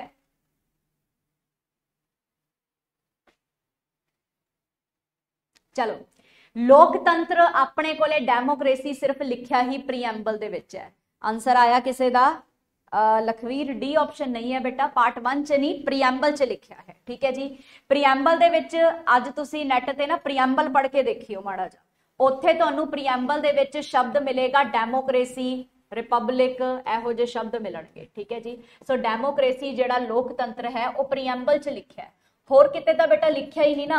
ਪਹਿਲੇ ਪਾਰਟ ਤੋਂ ਤਾਂ ਆਪਣਾ ਸਾਰਾ ਕੁਝ ਸੰਵਿਧਾਨ ਦੇ ਆਰਟੀਕਲ ਊਟੀਕਲ ਸ਼ੁਰੂ ਹੋ ਜਾਂਦੇ ਹੈ, ਠੀਕ ਹੈ ਜੀ? ਸੋ ਡੈਮੋਕ੍ਰੇਸੀ ਸ਼ਬਦ ਜਿਹੜਾ ਹੈ, ਉਹ ਪ੍ਰੀਐਂਬਲ ਇਸ ਨੂੰ ਆਪਣਾ ਆਧਾਰ ਮੰਨ ਕੇ ਚੱਲਦਾ ਹੈ, ਠੀਕ ਹੈ ਜੀ? ਸੋ ਡੈਮੋਕ੍ਰੇਸੀ ਆਏਗਾ, ਮਤਲਬ ਪ੍ਰੀਐਂਬਲ ਆਏਗਾ।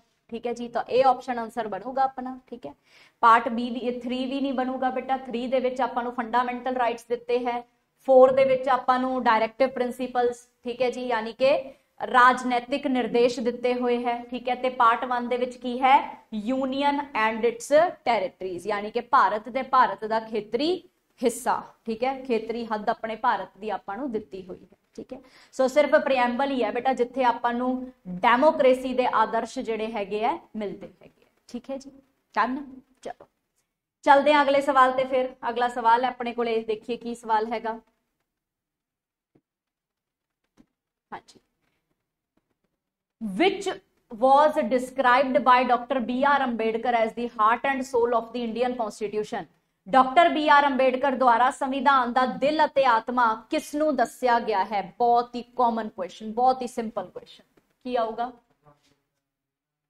ਹਮ ਦੇਖੋ ਸੋਚੋ ਦੱਸੋ ਆਨਸਰ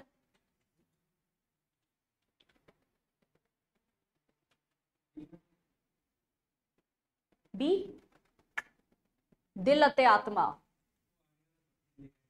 ਹਾਂ ਆਰਟੀਕਲ ਹੈ ਨਾ ਆਰਟੀਕਲ ਪੜਿਆ ਸੀ ਨਾ ਕਲਾਸ 'ਚ ਆਰਟੀਕਲ ਨੰਬਰ 32 ਤਾਂ ਆਰਟੀਕਲ ਨੰਬਰ 32 'ਚ ਕੀ ਲਿਖਿਆ ਹੈ? ਹਾਂ ਸੀ ਬਣੂਗਾ ਇਹਦਾ ਆਨਸਰ ਬਿਲਕੁਲ ਸਹੀ ਹੈ ਜੀ ਸੀ ਬਣੇਗਾ। ਸੋ 14ਵੇਂ ਕੁਐਸਚਨ ਨੂੰ ਡਿਸਕਸ ਕਰੀਏ ਪੁੱਤਰ ਆਪਾਂ, ਸਾਰੇ ਜਣੇ। ਸੋ 14ਵੇਂ ਕੁਐਸਚਨ ਦੇ ਵਿੱਚ D option sorry C option ਆਪਣਾ ਆਨਸਰ ਬਣੂਗਾ। ਆਰਟੀਕਲ ਨੰਬਰ 32 ਫੰਡਾਮੈਂਟਲ ਰਾਈਟ ਦਾ ਕੇਸ ਹੈ ਬੇਟਾ।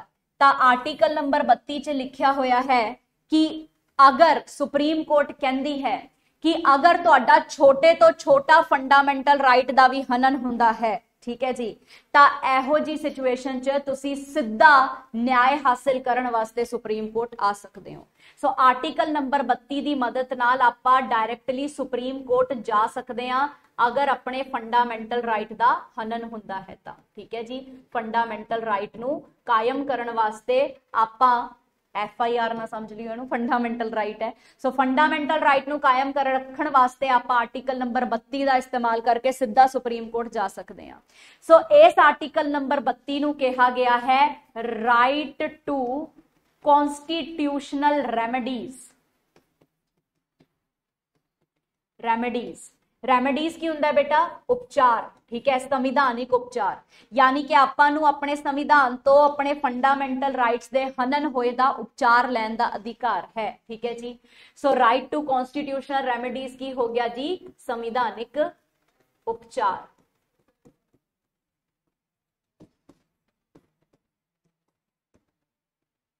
ਠੀਕ ਹੈ ਜੀ?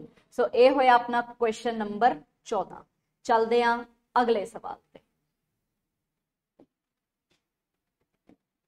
ਹਾਂਜੀ ਅਗਲਾ ਸਵਾਲ ਹੈ the idea of constitutional assembly constituent assembly of india was proposed by ਪਹਿਲੀ ਵਾਰੀ constituent assembly ਦਾ ਆਈਡੀਆ ਕਿੰਨਾ ਨੇ ਦਿੱਤਾ ਸੀਗਾ ਸੀ ਬਿਲਕੁਲ ਸਹੀ ਹੈ ਬਿਲਕੁਲ ਸਹੀ ਜੀ ਬੇਟਾ ਜੀ ਸੀ ਆਊਗਾ ਆਨਸਰ ਠੀਕ ਹੈ ਕਿਉਂਕਿ ਐਮ ਐਨ ਰॉय ਜਿਹੜੇ ਸੀਗੇ, ਉਹਨਾਂ ਨੇ 1934 ਦੇ ਵਿੱਚ ਇਹ ਗੱਲ ਕਹਿਤੀ ਸੀ ਕਿ ਕਨਸਟੀਟੂਐਂਟ ਅਸੈਂਬਲੀ ਬਣਾਓ ਤੇ ਉਸ ਅਸੈਂਬਲੀ ਦੇ ਤਹਿਤ ਕੀ ਕਰੋ, ਸੰਵਿਧਾਨ ਦੀ ਰਚਨਾ ਕਰੋ। ਠੀਕ ਹੈ ਜੀ? ਸੋ ਕਨਸਟੀਟੂਐਂਟ ਅਸੈਂਬਲੀ ਦਾ ਆਈਡੀਆ ਦੇਣ ਵਾਲੇ ਸੀਗੇ ਆਪਣੇ ਕੋਲੇ M N Roy so M N Roy communist party ਦੇ ਮੈਂਬਰ ਸੀਗੇ, ਇਹਨਾਂ ਦੀ ਪਾਰਟੀ ਸੀ ਕਮਿਊਨਿਸਟ ਕਮਿਊਨਿਸਟ ਪਾਰਟੀ ਸੀ ਇਹਨਾਂ ਦੀ। ਸੋ ਇਸ ਪਾਰਟੀ ਦੇ ਇਹ ਮੈਂਬਰ ਸੀਗੇ ਤੇ ਇਹਨਾਂ ਨੇ 1934 ਦੇ ਵਿੱਚ ਇਹ ਕਹਿ ਦਿੱਤਾ ਸੀ ਕਿ ਕਨਸਟੀਟਿਊਐਂਟ ਅਸੈਂਬਲੀ ਹੋਣੀ ਚਾਹੀਦੀ ਹੈ। ਠੀਕ ਹੈ? ਡਨ ਸੋ 15ਵਾਂ ਸਵਾਲ ਹੋ ਗਿਆ ਆਪਣਾ। ਚਲਦੇ ਅਗਲੇ ਸਵਾਲ ਤੇ। ਹਾਂਜੀ, ਅਗਲਾ ਸਵਾਲ ਹੈ। ਸਾਇੰਸ ਦਾ ਸਵਾਲ ਹੈ ਬੇਟਾ। Which of the following physical quantity is a scalar quantity? ਇਹਨਾਂ ਚੋਂ ਕਿਹੜੀ ਕੁਆਂਟੀਟੀ ਸਕੇਲਰ ਕੁਆਂਟੀਟੀ ਹੈ? ਹਾਂਜੀ। ਦੂਰੀ? ਡਿਸਟੈਂਸ ਇੰਪਲਸ ਡਿਸਪਲੇਸਮੈਂਟ ਅਤੇ ਐਕਸਲਰੇਸ਼ਨ ਡਿਸਟੈਂਸ ਹੁੰਦਾ ਬੇਟਾ ਦੂਰੀ ਇੰਪਲਸ ਇੰਪਲਸ ਕੀ ਹੁੰਦਾ ਸਮਝਾਨੀ ਆ ਵਿਸਥਾਪਨ ਹੁੰਦਾ ਡਿਸਪਲੇਸਮੈਂਟ ਜਗ੍ਹਾ ਦਾ ਬਦਲ ਜਾਣਾ, ਇੱਕ ਜਗ੍ਹਾ ਤੋਂ ਦੂਜੀ ਜਗ੍ਹਾ ਸ਼ਿਫਟ ਹੋ ਜਾਣਾ, ਤੇ ਐਕਸਲਰੇਸ਼ਨ ਹੁੰਦਾ ਹੈ ਪ੍ਰਵੇਗ, ਠੀਕ ਹੈ ਜੀ? ਹੁਣ ਵੈਕਟਰ ਕੁਆਂਟੀਟੀ ਤੇ ਫਿਜ਼ੀਕਲ ਕੁਆਂਟੀਟੀ ਕੀ ਹੁੰਦੀ ਅੱਜ ਦਾ ਡਿਸਕਸ਼ਨ ਆਪਣਾ ਉਸ ਤੇ ਰਹੂਗਾ। ਸੋ ਇਹ ਫਿਜ਼ਿਕਸ ਹੈ ਬੇਟਾ, ਤੇ ਫਿਜ਼ਿਕਸ ਦੇ ਵਿੱਚ, ਮਤਲਬ ਸਾਇੰਸ ਦੇ ਵਿੱਚ ਆਪਾਂ ਫਿਜ਼ੀਕਲ ਤੇ ਵੈਕਟਰ ਕੁਆਂਟੀਟੀਆਂ ਨੂੰ ਡਿਸਕਸ ਕਰੀਏ। ਤਾਂ 16ਵਾਂ ਕੁਐਸਚਨ ਜਿਹੜਾ ਹੈ, ਉਹ ਹੈ ਫਿਜ਼ੀਕਲ ਅਤੇ ਵੈਕਟਰ ਕੁਆਂਟੀਟੀਆਂ ਠੀਕ ਹੈ? ਦੇਖੋ ਫਿਜ਼ੀਕਲ ਕੁਆਂਟੀਟੀ ਕੀ ਹੁੰਦੀ ਹੈ? ਉਹ ਕੁਆਂਟੀਟੀ ਜਿਹਦੇ ਵਾਸਤੇ ਤੁਹਾਨੂੰ ਕੇਵਲ ਤੇ ਕੇਵਲ ਵੈਲਿਊ ਮੈਟਰ ਕਰੇਗੀ। ਠੀਕ ਹੈ? ਵੈਲਿਊ ਮੈਟਰ ਕਰੇਗੀ, ਦਿਸ਼ਾ ਮੈਟਰ ਨਹੀਂ ਕਰੇਗੀ। ਦਿਸ਼ਾ ਮੈਟਰ ਨਹੀਂ ਕਰੇਗੀ। ਐਗਜ਼ਾਮਪਲ ਬਿਲਕੁਲ ਸਿੰਪਲ ਐਗਜ਼ਾਮਪਲ ਨਾਲ ਸਮਝੋ। ਤੁਸੀਂ ਸਵੇਰੇ ਜਿਹੜਾ ਹੈ ਡਾਕਟਰ ਨੇ ਤੁਹਾਨੂੰ ਕਿਹਾ ਹੈ ਕਿ 1 ਘੰਟਾ ਐਕਸਰਸਾਈਜ਼ ਕਰਨੀ ਹੈ, ਠੀਕ ਹੈ? ਹੁਣ ਤੁਸੀਂ ਉਹ ਐਕਸਰਸਾਈਜ਼ ਕਰਨ ਵਾਸਤੇ ਆਪਣੇ ਸਾਹਮਣੇ ਵਾਲੇ, ਘਰ ਦੇ ਸਾਹਮਣੇ ਵਾਲੇ ਪਾਰਕ 'ਚ ਜਾ ਕੇ ਗੇੜੇ ਕੱਟਦੇ ਹੋ ਐਵੇਂ ਨੂੰ ਗੇੜੇ ਕੱਟ ਰਹੇ ਹੋ ਜਾਂ ਐਵੇਂ ਨੂੰ ਗੇੜੇ ਕੱਟ ਰਹੇ ਹੋ, ਉਹਦੇ ਨਾਲ ਤਾਂ ਫ਼ਰਕ ਨਹੀਂ ਪਏਗਾ ਨਾ, ਠੀਕ ਹੈ ਜੀ? ਇੱਥੇ ਆਪਾਂ ਪੰਡਿਤ ਜੀ ਦੀ ਦਿਸ਼ਾਵਾਂ ਨਹੀਂ ਲੈ ਕੇ ਆਣੀਆਂ ਕਿ ਫਲਾਨੀ ਉੱਤਰ ਦਿਸ਼ਾ ਦੇ ਵਿੱਚ ਤੁਸੀਂ ਅਗਰ ਐਕਸਰਸਾਈਜ਼ ਕਰੋਗੇ ਤਾਂ ਤੁਹਾਡਾ weight loss ਜਲਦੀ ਹੋਊਗਾ, ਦੱਖਣ ਵੱਲ ਕਰੋਗੇ ਤਾਂ weight loss ਘੱਟ ਹੋਊਗਾ, ਐਵੇਂ ਨਹੀਂ ਹੁੰਦਾ, ਠੀਕ ਹੈ? ਸੋ weight loss ਡਿਪੈਂਡ ਕਰੇਗਾ ਵੈਲਿਊ ਤੇ, ਜੇ ਤੁਸੀਂ 10 ਕਿਲੋਮੀਟਰ ਭੱਜੇ ਹੋ ਤਾਂ ਤੁਹਾਡਾ weight loss ਅਵਸ਼ਯ ਹੋਊਗਾ, ਯਾਨੀ ਕਿ ਕੇਵਲ ਵੈਲਿਊ ਨੇ ਮੈਟਰ ਕਰਨਾ ਹੈ, ਦਿਸ਼ਾ ਦੀ ਕੋਈ ਰੌਲਾ ਹੀ ਹੈ ਨਹੀਂ। ਠੀਕ ਹੈ ਜੀ? ਜਿਵੇਂ ਕਿ ਇਹ ਸੈਰ ਦਾ ਆਪਾਂ ਐਗਜ਼ਾਮਪਲ ਲਿਆ, ਹੁਣ ਦੂਜਾ ਐਗਜ਼ਾਮਪਲ ਦੇਖੋ। ਮੰਨ ਲਓ ਜੀ, ਤੁਹਾਨੂੰ ਕਿਹਾ ਜਾਵੇ ਕਿ ਤੁਸੀਂ ਸੈਂਟਰ ਆਣਾ ਠੀਕ ਹੈ ਜੀ? ਹੁਣ ਇਹੋ ਜੀ ਕੰਡੀਸ਼ਨ 'ਚ ਵੈਲਿਊ ਦੇ ਨਾਲ ਨਾਲ ਦਿਸ਼ਾ ਵੀ ਮੈਟਰ ਕਰੂਗੀ, ਹਨਾ? ਅਗਰ ਮੈਂ ਇਹ ਗੱਲ ਕਹਿ ਦਿੰਨੀ ਆ ਕਿ ਤੁਸੀਂ ਸੈਂਟਰ ਆਣਾ ਹੈ, ਤੇ ਤੁਸੀਂ ਸਮਝ ਲਓ ਕਿ ਆਪਾਂ ਫਿਜ਼ੀਕਲ ਕੁਆਂਟੀਟੀ ਦਾ ਇਸਤੇਮਾਲ ਕਰੀਏ, ਤਾਂ ਆਪਾਂ ਕੀ ਕਰਾਂਗੇ? ਲਿਸ਼ਕ ਮੁਸ਼ਕ ਕੇ ਤਿਆਰ ਹੋ ਗਏ ਘਰੇ ਘਰੋਂ ਨਿਕਲ ਲੈ ਜਿਹੜੀ ਮਰਜ਼ੀ ਦਿਸ਼ਾ 'ਚ, ਠੀਕ ਹੈ? ਆਣਾ ਸੀ ਬਠਿੰਡਾ, ਬੱਸ ਫੜ ਲਈ ਆਪਾਂ ਮਾਨਸੇ ਵਾਲੀ, ਠੀਕ ਹੈ ਜੀ? ਸੋ ਦਿਸ਼ਾ ਪੰਗਾ ਪਾਉਗੀ ਨਾ। ਹੁਣ ਅਗਰ ਮਾਨਸੇ ਪਹੁੰਚ ਜਾਓਗੇ ਤਾਂ ਬਠਿੰਡੇ ਦੇ ਇੰਸਟੀਚਿਊਟ 'ਚ ਕਿਵੇਂ ਪੜੋਗੇ ਤੁਸੀਂ? ਠੀਕ ਹੈ, ਸਿੱਧੀ ਜੀ ਗੱਲ ਹੈ। ਤਾਂ ਵੈਕਟਰ ਕੁਆਂਟੀਟੀ ਉਹ ਕੁਆਂਟੀਟੀ ਹੁੰਦੀ ਹੈ ਬੇਟਾ ਜਿਹਦੇ ਵਿੱਚ ਵੈਲਿਊ ਵੀ ਮੈਟਰ ਕਰਦੀ ਹੈ ਤੇ ਉਹਨਾਂ ਦੀ ਦਿਸ਼ਾ ਯਾਨੀ ਕਿ ਡਾਇਰੈਕਸ਼ਨ ਵੀ ਮੈਟਰ ਕਰਦੀ ਹੈ। ਠੀਕ ਹੈ ਜੀ। ਸਮਝ ਆਇਆ ਇੱਥੋਂ ਤੱਕ? ਹੁਣ ਆਨੇ ਆਪਾਂ ਆਪਸ਼ਨਸ ਦੇ ਵਿੱਚ। ਪਹਿਲਾ ਆਪਸ਼ਨ ਅਗਰ ਆਪਾਂ ਗੱਲ ਕਰੀਏ ਡਿਸਟੈਂਸ ਯਾਨੀ ਕਿ ਦੂਰੀ। ਕਿਸੇ ਵੀ ਚੀਜ਼ ਦੇ ਵਿੱਚ ਕਿੰਨੀ ਕੁ ਦੂਰੀ ਹੈ, ਕਿੰਨਾ ਕੁ ਡਿਸਟੈਂਸ ਹੈਗਾ ਇਹਦੇ ਵਿੱਚ ਕੇਵਲ ਵੈਲਿਊ ਪਤਾ ਹੋਣੀ ਚਾਹੀਦੀ ਹੈ ਮੈਗਨੀਟਿਊਡ ਨਹੀਂ, ਠੀਕ ਹੈ? ਉਹ ਕਹਿੰਦੇ ਸੀ ਨਾ, ਆਪਾਂ ਕਰੋਨਾ ਕਾਲ ਦੇ ਵਿੱਚ 2 ਗਜ ਕੀ ਦੂਰੀ, ਹਨਾ? ਹੁਣ ਉਹ 2 ਗਜ ਕੀ ਦੂਰੀ ਹੀ ਰੱਖਣੀ ਹੈ। ਹੁਣ ਇਹ ਕਿਸੇ ਨੇ ਨਹੀਂ ਕਿਹਾ ਕਿ 2 ਗਜ ਦੀ ਦੂਰੀ ਨਾਰਥ ਦਿਸ਼ਾ 'ਚ ਹੀ ਮੰਨੀ ਜਾਊਗੀ ਜਾਂ ਸਾਊਥ 'ਚ ਹੀ ਮੰਨੀ ਜਾਊਗੀ। ਤਾਂ ਦਿਸ਼ਾ ਮੈਟਰ ਨਹੀਂ ਕਰੂਗੀ, ਕੱਲੀ ਕੀ ਮੈਟਰ ਕਰੂਗੀ? ਵੈਲਿਊ ਸੋ ਸਕੇਲਰ ਕੁਆਂਟੀਟੀ ਆਪਣੇ ਕੋਲੇ ਜਾਂ ਫਿਜ਼ੀਕਲ ਕੁਆਂਟੀਟੀ ਆਪਣੇ ਕੋਲੇ ਕਿਹੜੀ ਹੋਗੀ ਇਹਦੇ ਚੋਂ ਆਪਣੇ ਕੋਲੇ ਡਿਸਟੈਂਸ ਠੀਕ ਹੈ ਜੀ? ਅੱਛਾ ਜਿਹੜੀ ਸਕੇਲਰ ਕੁਆਂਟੀਟੀ ਹੁੰਦੀ ਹੈ, ਉਹੀ ਫਿਜ਼ੀਕਲ ਹੁੰਦੀ ਹੈ। ਠੀਕ ਹੈ ਜੀ? ਸੋ ਗੰਗਾਧਰੀ ਸ਼ਕਤੀਮਾਨ ਹੈ ਇਹ ਗੱਲ ਯਾਦ ਰੱਖਣੀ ਹੈ। ਕਿਤੇ ਅਲੱਗ-ਅਲੱਗ ਸਾਬਿਤ ਕਰ ਦੋ ਇਹਨਾਂ ਨੂੰ। ਠੀਕ ਹੈ ਜੀ? ਸੋ ਫਿਜ਼ੀਕਲ ਕੁਆਂਟੀਟੀ ਇਹਨਾਂ ਦੇ ਵਿੱਚੋਂ ਕਿਹੜੀ ਹੈਗੀ ਆਪਣੇ ਕੋਲੇ ਜੀ? ਆਪਣੀ ਵੈਲਿਊ ਠੀਕ ਹੈ ਜੀ? ਜਿਹੜੀ ਕੱਲੀ ਵੈਲਿਊ ਦੱਸੇਗੀ, ਦਿਸ਼ਾ ਨਹੀਂ ਦੱਸੇਗੀ। ਹੁਣ ਅਗਰ ਆਪਾਂ ਬਾਕੀ ਆਪਸ਼ਨਸ ਦੇ ਬਾਰੇ ਗੱਲ ਕਰੀਏ ਆ ਦੇਖੋ ਇੰਪਲਸ ਇੰਪਲਸ ਕੀ ਹੁੰਦਾ ਹੈ?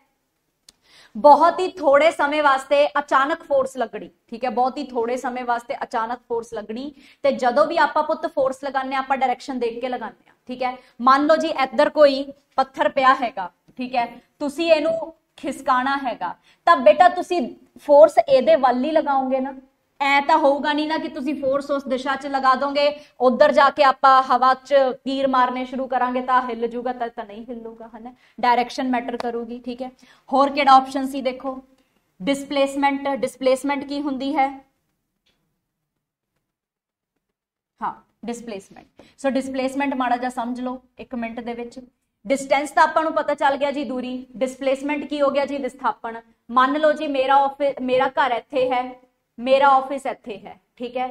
ਮੈਂ ਆਪਣੇ ਘਰ ਤੋਂ ਨਿਕਲਦੀ ਹਾਂ, ਸ਼ਹਿਰ 'ਚ ਨਵੀਂ ਨਵੀਂ ਆਈ ਆ ਬੀ ਲੋਕੇਸ਼ਨ ਤੇ ਜਾਨੀ ਆ ਤੇ ਫਿਰ ਜਾ ਕੇ ਸੀ ਲੋਕੇਸ਼ਨ ਤੇ ਜਾਨੀ ਆ ਠੀਕ ਹੈ? ਮਤਲਬ ਪਹਿਲਾਂ ਮੈਂ 3 ਕਿਲੋਮੀਟਰ ਸਫ਼ਰ ਤੈਅ ਕੀਤਾ, ਇੱਥੇ ਤੱਕ ਫਿਰ ਮੈਂ 4 ਕਿਲੋਮੀਟਰ ਤੈਅ ਕੀਤਾ ਤੇ ਫਿਰ ਮੈਂ ਆਫਿਸ ਪਹੁੰਚੀ। ਹੁਣ ਇਹ ਸ਼ਹਿਰ 'ਚ ਮੈਂ ਰਹਿ ਰਹੀ ਹੈਗੀ ਆ ਨਵੀਂ ਨਵੀਂ ਆਈ ਹੈਗੀ ਆ ਮੇਰੇ ਕੋਲੀਗ ਮੈਨੂੰ ਬਾਈ ਚਾਂਸ ਪੁੱਛ ਲੈਂਦੇ ਕਿ ਮੈਡਮ ਦੱਸੋ ਕਿੰਨੇ ਮਤਲਬ ਤੁਸੀਂ ਕਿਵੇਂ ਆਉਂਦੇ ਹੋ, ਕੀ ਰੂਟ ਫੋਲੋ ਕਰਦੇ ਹੋ? ਤਾਂ ਮੈਂ ਦੱਸਿਆ ਇਹ ਵਾਲਾ। ਕਹਿੰਦੇ, ਮੈਡਮ, ਤੁਹਾਨੂੰ ਤਾਂ 7 ਕਿਲੋਮੀਟਰ ਪੈ ਜਾਂਦਾ ਹੋਊਗਾ। ਤੁਸੀਂ ਇੱਕ ਕੰਮ ਕਰੋ, ਇੱਕ ਸ਼ਾਰਟਕਟ ਆਂਦਾ ਹੈ, ਜਿਹੜਾ ਕਿ 5 ਕਿਲੋਮੀਟਰ ਦੇ ਵਿੱਚ ਤੁਹਾਡਾ ਸਫ਼ਰ ਤੈਅ ਕਰ ਦੇਗਾ। ਠੀਕ ਹੈ ਜੀ? ਤਾਂ ਮਤਲਬ ਡਿਸਪਲੇਸਮੈਂਟ ਕੀ ਹੁੰਦੀ ਹੈ? ਸ਼ਾਰਟੈਸਟ ਡਿਸਟੈਂਸ ਜਿਹੜਾ ਆਪਾਂ ਟਰੈਵਲ ਕਰਦੇ ਹਾਂ। ਠੀਕ ਹੈ ਜੀ? ਸੋ ਅੱਜ ਆਪਾਂ ਡਿਸਪਲੇਸਮੈਂਟ ਦੀ ਬੇਟਾ ਸਿਰਫ ਐਨੀ ਜੀ ਕਹਾਣੀ ਪੜਾਂਗੇ ਡਿਸਪਲੇਸਮੈਂਟ ਬਹੁਤ ਵਿਸਥਾਰ ਦੇ ਵਿੱਚ ਹੈ। ਬਹੁਤ ਹੀ ਜ਼ਿਆਦਾ ਜਿਹੋ ਜਿਹਾ ਇਹਦਾ ਨਾਮ ਹੈ ਨਾ, ਵਿਸਥਾਪਨ। ਉਹੋ ਜਿਹਾ ਵਿਸਥਾਰ ਚ ਫੈਲਿਆ ਹੋਇਆ ਹਾਂ, ਇਹ ਤਾਂ ਪਾਈਥਾਗੋਰਸ ਹੈ, ਚਲੋ ਇਹ ਤਾਂ ਪਾਈਥਾਗੋਰਸ ਲੱਗ ਗਈ, ਠੀਕ ਹੈ ਜੀ, ਆਪਾਂ ਲਗਾ ਲਈ। ਹਰ ਹਰ ਸ਼ਾਰਟੈਸਟ ਡਿਸਟੈਂਸ ਪਾਈਥਾਗੋਰਸ ਨਹੀਂ ਹੋਊਗਾ, ਇਹ ਤਾਂ ਮੈਂ ਜਸਟ ਐਗਜ਼ਾਮਪਲ ਲਈ ਵਰਤ ਲਿਆ, ਠੀਕ ਹੈ। ਲੇਕਿਨ ਡਿਸਪਲੇਸਮੈਂਟ ਬਹੁਤ ਤਗੜੀ ਚੀਜ਼ ਹੈਗੀ ਹੈ, ਇਹਨੂੰ ਆਪਾਂ ਆਪਣੀਆਂ ਕਲਾਸਿਸ ਦੇ ਵਿੱਚ ਫਰਦਰ ਡਿਸਕਸ ਕਰਾਂਗੇ, ਚੱਲਦੇ ਹਾਂ ਅਗਲੇ ਸਵਾਲ ਤੇ। ਤਾਂ ਆਪਣੇ ਕੋਲੇ 16ਵੇਂ ਸਵਾਲ ਦਾ ਜਵਾਬ ਆ ਗਿਆ ਜੀ ਏ ਆਪਸ਼ਨ ਡਿਸਟੈਂਸ ਅੱਛਾ ਐਕਸਲਰੇਸ਼ਨ ਕੀ ਹੁੰਦਾ, ਪ੍ਰਵੇਗ ਕੀ ਹੁੰਦਾ ਹੈ?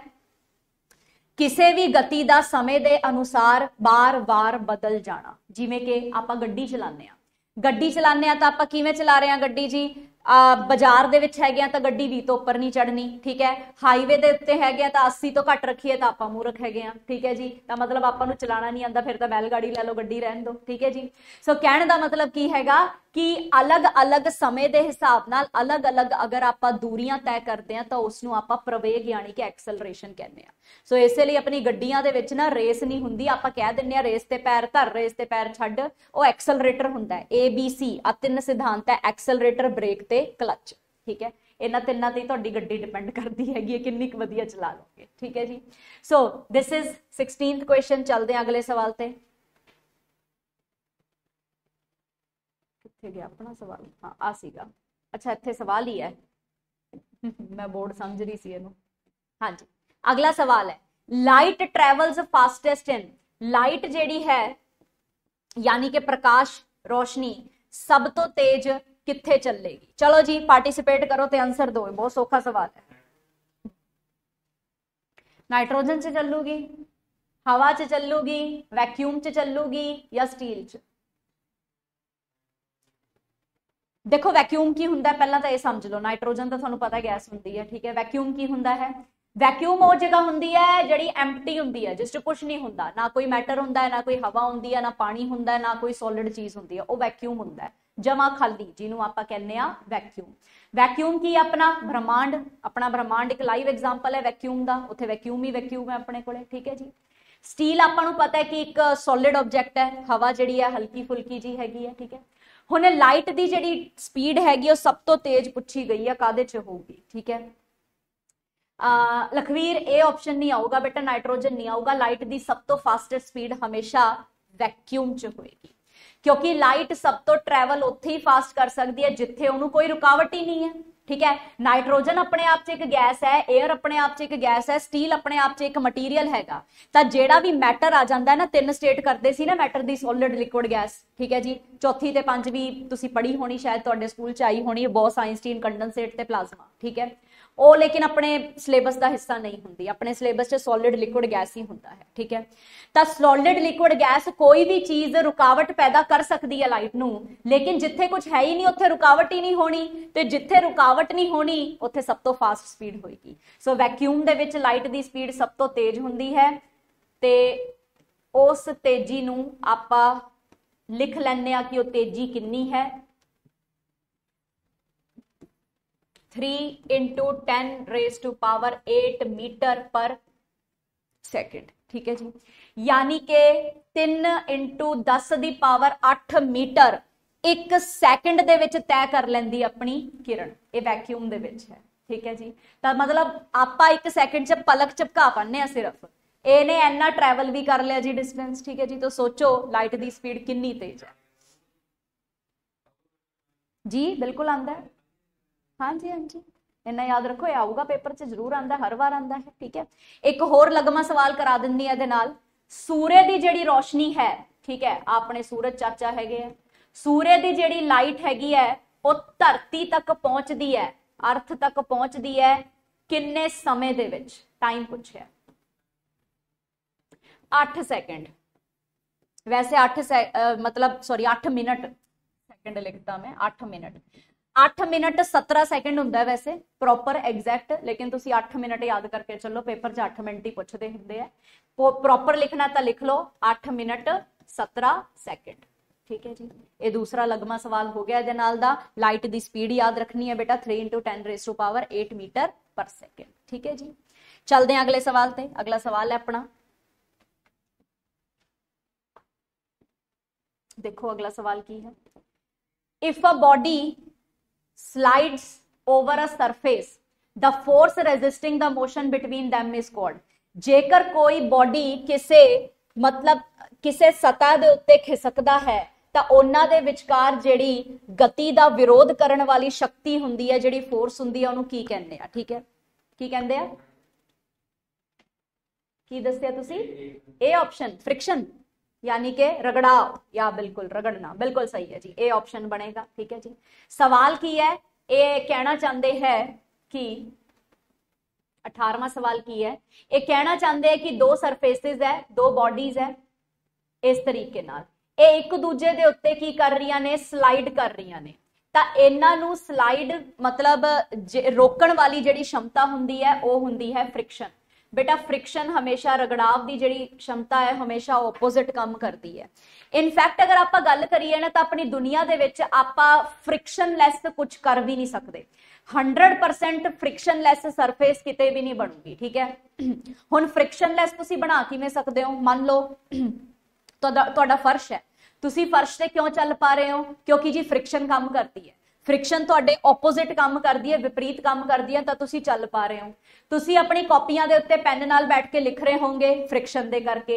ਮੈਂ ਬੋਰਡ ਦੇ ਉੱਤੇ ਲਿਖ ਰਹੀ ਹਾਂ ਫ੍ਰਿਕਸ਼ਨ ਦੇ ਕਰਕੇ। ਮੈਂ ਇਸ ਪੈਨ ਨੂੰ ਆਪਣੇ ਹੱਥ 'ਚ ਵੀ ਫੜ ਰੱਖਿਆ ਨਾ, ਤਾਂ ਫ੍ਰਿਕਸ਼ਨ ਕਰਕੇ। ਇਸ ਦੁਨੀਆ ਜਹਾਨ 'ਚ ਕੋਈ ਵੀ ਚੀਜ਼ ਇਹੋ ਜਿਹਾ, ਕੋਈ ਵੀ ਕੰਮ ਇਹੋ ਜਿਹਾ ਨਹੀਂ ਹੈ, ਜਿਹੜਾ ਆਪਾਂ ਫ੍ਰਿਕਸ਼ਨ ਤੋਂ ਬਗੈਰ ਕਰ ਸਕੀਏ। ਫੇਰ ਵੀ ਪਲੱਸ 2 ਦੇ ਵਿੱਚ ਜਦੋਂ ਨੂਮੈਰੀਕਲ ਹੱਲ ਕਰਦੇ ਸੀ, ਤਾਂ ਸਰ ਕਹਿ ਦਿੰਦੇ ਸੀਗੇ ਨੈਗਲੈਕਟ 에ਅਰ ਫ੍ਰਿਕਸ਼ਨ ਠੀਕ ਹੈ। ਫ੍ਰਿਕਸ਼ਨ ਤੋਂ ਬਿਨਾ ਦੁਨੀਆ ਹੀ ਨਹੀਂ ਵਸ ਸਕਦੀ ਤੇ 에ਅਰ ਫ੍ਰਿਕਸ਼ਨ ਨੂੰ ਖਤਮ ਕਰਨ ਦੀ ਗੱਲ ਕਰਦੇ ਸੀ ਨੈਗਲੈਕਟ ਕਰਨ ਦੀ ਗੱਲ ਕਰਦੇ ਸੀ। ਖੈਰ, ਚਲੋ ਆਨੇ ਆਪਾਂ ਆਪਣੇ ਇੱਥੇ ਠੀਕ ਹੈ? ਤਾਂ ਕੋਈ ਵੀ ਚੀਜ਼ ਅਗਰ ਫ੍ਰਿਕਸ਼ਨ ਕਰ ਰਹੀ ਹੈ, ਤਾਂ ਐਬਸੋਲੂਟ ਜ਼ੀਰੋ ਤੁਸੀਂ ਕਿੱਥੇ ਪ੍ਰਾਪਤ ਕਰ ਸਕਦੇ ਹੈਗੇ ਹੋ? ਆਪਣੀ ਦੁਨੀਆ 'ਚ ਤਾਂ ਆਪਾਂ ਕਿਤੇ ਵੀ ਨਹੀਂ ਬਣਾ ਸਕਦੇ। ਹੁਣ ਫਰਸ਼ ਦੇ ਉੱਤੇ ਤੁਸੀਂ ਤੇਲ ਪਾ ਲਓ ਜਾਂ ਸਾਬਣ ਦਾ ਪਾਣੀ ਪਾ ਲਓ, ਤਾਂ ਤੁਹਾਡਾ ਪੈਰ ਫਿਸਲਣਾ ਸ਼ੁਰੂ ਹੋ ਜਾਊਗਾ, ਤਿਲਕਣਾ ਸ਼ੁਰੂ ਹੋ ਜਾਊਗਾ, ਯਾਨੀ ਕਿ ਤੁਸੀਂ ਫ੍ਰਿਕਸ਼ਨ ਘਟਾਉਣ ਦੀ ਕੋਸ਼ਿਸ਼ ਕਰ ਰਹੇ ਹੋ। ਸੋ ਜਿੰਨੀ ਜ਼ਿਆਦਾ ਤੁਸੀਂ ਸਰਫੇਸ ਨੂੰ ਪਾਲਿਸ਼ ਕਰੋਗੇ, ਓਨਾ ਹੀ ਜ਼ਿਆਦਾ ਜਿਹੜੀ ਹੈਗੀ ਹੈ ਫ੍ਰਿਕਸ਼ਨ ਜਿਹੜੀ ਹੈਗੀ ਹੈ ਘਟਦੀ ਚਲੀ ਜਾਏਗੀ। ਜਿੰਨਾ ਤੁਸੀਂ ਖੁਰਦਰਾ ਫਰਸ਼ ਰੱਖੋਗੇ ਜਾਂ ਜਿੰਨਾ ਵੀ ਖੁਰਦਰੇ ਆਬਜੈਕਟ ਹੋਊਗੀ ਉਸੇ ਦੇ ਨਾਲ ਤੁਹਾਡੀ ਫ੍ਰਿਕਸ਼ਨ ਵਧੂਗੀ। ਜਿਵੇਂ ਲੱਕੜੀ ਲੱਕੜੀ ਦਾ ਕੰਮ ਕਰਾਉਂਦੇ ਆਪਾਂ ਘਰੇ, ਉਹ ਰੰਦਾ ਮਾਰ ਕੇ ਸਾਰਾ ਉੱਪਰ ਵਾਲਾ ਛਿਲਕਾ ਉਤਾਰਦੇ ਆ ਨਾ ਵਿਚਾਰੇ ਮਿਸਤਰੀ ਲੋਕੀ, ਉਹ ਇਸੇ ਲਈ ਉਤਾਰਦੇ ਆ, ਕਿਉਂਕਿ ਜਿੰਨਾ ਫ੍ਰਿਕਸ਼ਨ ਆਪਾਂ ਘਟਾਵਾਂਗੇ ਉਨਾ ਹੀ ਵਧੀਆ ਉਹਦੇ ਤੇ ਪੇਂਟ ਹੋ ਸਕਦਾ ਹੈ ਪਾਲਿਸ਼ ਹੋ ਸਕਦਾ ਹੈ। ਜੇ ਐਵੇਂ ਦਰਦਰਾ ਜਾ ਰੱਖਾਂਗੇ, ਆਪਾਂ ਦਰਦਰੀ ਜੀ ਲੱਕੜ ਦਾ ਬਣਾਵਾਂਗੇ, ਤਾਂ ਕੱਲ ਨੂੰ ਆਂਦੇ ਜਾਂਦੇ ਆਪਣੇ ਹੱਥ ਦੇ ਵਿੱਚ ਹੀ ਵੱਜੂਗਾ। ਠੀਕ ਹੈ, ਹੱਥ ਲਗਾ ਕੇ ਵੀ ਨਹੀਂ ਆਪਾਂ ਦੇਖ ਸਕਾਂਗੇ। ਠੀਕ ਹੈ ਜੀ? ਸੋ ਇਸ ਲਈ ਫ੍ਰਿਕਸ਼ਨ ਆਪਣੀ ਦੁਨੀਆ 'ਚ ਜ਼ਰੂਰੀ ਹੈ। ਚੱਲਣ ਫਿਰਨ ਵਾਸਤੇ, ਕੰਮ ਕਰਨ ਵਾਸਤੇ ਕੁਝ ਵੀ ਚੀਜ਼ ਹੋਲਡ ਕਰਨ ਵਾਸਤੇ ਫ੍ਰਿਕਸ਼ਨ ਜ਼ਰੂਰੀ ਹੈ। ਠੀਕ ਹੈ ਜੀ? ਚੱਲਦੇ ਆ ਆਖਰੀ ਦੋ ਸਵਾਲਾਂ ਦੇ ਉੱਤੇ ਅੱਜ ਦੇ। ਸੋ 18ਵੇਂ ਦਾ ਆਨਸਰ ਇਹ ਬਣਿਆ। 19ਵਾਂ ਸਵਾਲ ਹੈ ਰਸਟਿੰਗ ਇਜ਼ ਰਸਟਿੰਗ ਕੀ ਹੈ? ਰਸਟਿੰਗ ਹੁੰਦਾ ਬੇਟਾ ਜੰਗ ਲੱਗਣਾ। ਠੀਕ ਹੈ? ਯਾਨੀ ਕਿ ਜੰਗਾਲ ਇੱਥੇ ਲਿਖਿਆ ਹੋਇਆ ਹੈਗਾ, ਜੰਗ ਲੱਗਣਾ। ਜੰਗ ਲੱਗਣਾ ਕੀ ਹੁੰਦਾ ਹੈਗਾ? ਇਹ ਪੁੱਛਿਆ ਗਿਆ ਹੈਗਾ। ਇਲੈਕਟ੍ਰੋਲਿਸਿਸ ਹੈ ਆਕਸੀਡੇਸ਼ਨ ਹੈ ਰਿਡੌਕਸ ਹੈ ਰਿਡਕਸ਼ਨ ਹੈ, ਕੀ ਆਨਸਰ ਹੈ? ਆਕਸੀਡੇਸ਼ਨ, ਬਿਲਕੁਲ ਸਹੀ ਹੈ ਜੀ ਬੀ ਆਨਸਰ ਬਣੂਗਾ ਇਹਦਾ, ਠੀਕ ਹੈ ਜੀ। ਹੁਣ ਕੀ ਹੁੰਦਾ ਹੈ ਬੇਟਾ ਰਸਟਿੰਗ ਦੇਖੋ। ਰਸਟਿੰਗ ਦੇ ਵਿੱਚ ਕੀ ਹੁੰਦਾ ਹੈ ਕਿ ਕੋਈ ਵੀ ਲੋਹੇ ਦੀ ਚੀਜ਼ ਹੈ ਨਾ, ਕੋਈ ਵੀ ਆਇਰਨ ਦੀ ਜਾਂ ਲੋਹੇ ਦੀ ਚੀਜ਼ ਹੈ, ਬੇਟਾ ਇਹਨੂੰ ਨਾ ਜੰਗ ਲੱਗ ਜਾਂਦੀ ਹੈ, ਜਿਹਨੂੰ ਆਪਾਂ ਰਸਟਿੰਗ ਕਹਿੰਦੇ ਆ ਠੀਕ ਹੈ ਜੀ।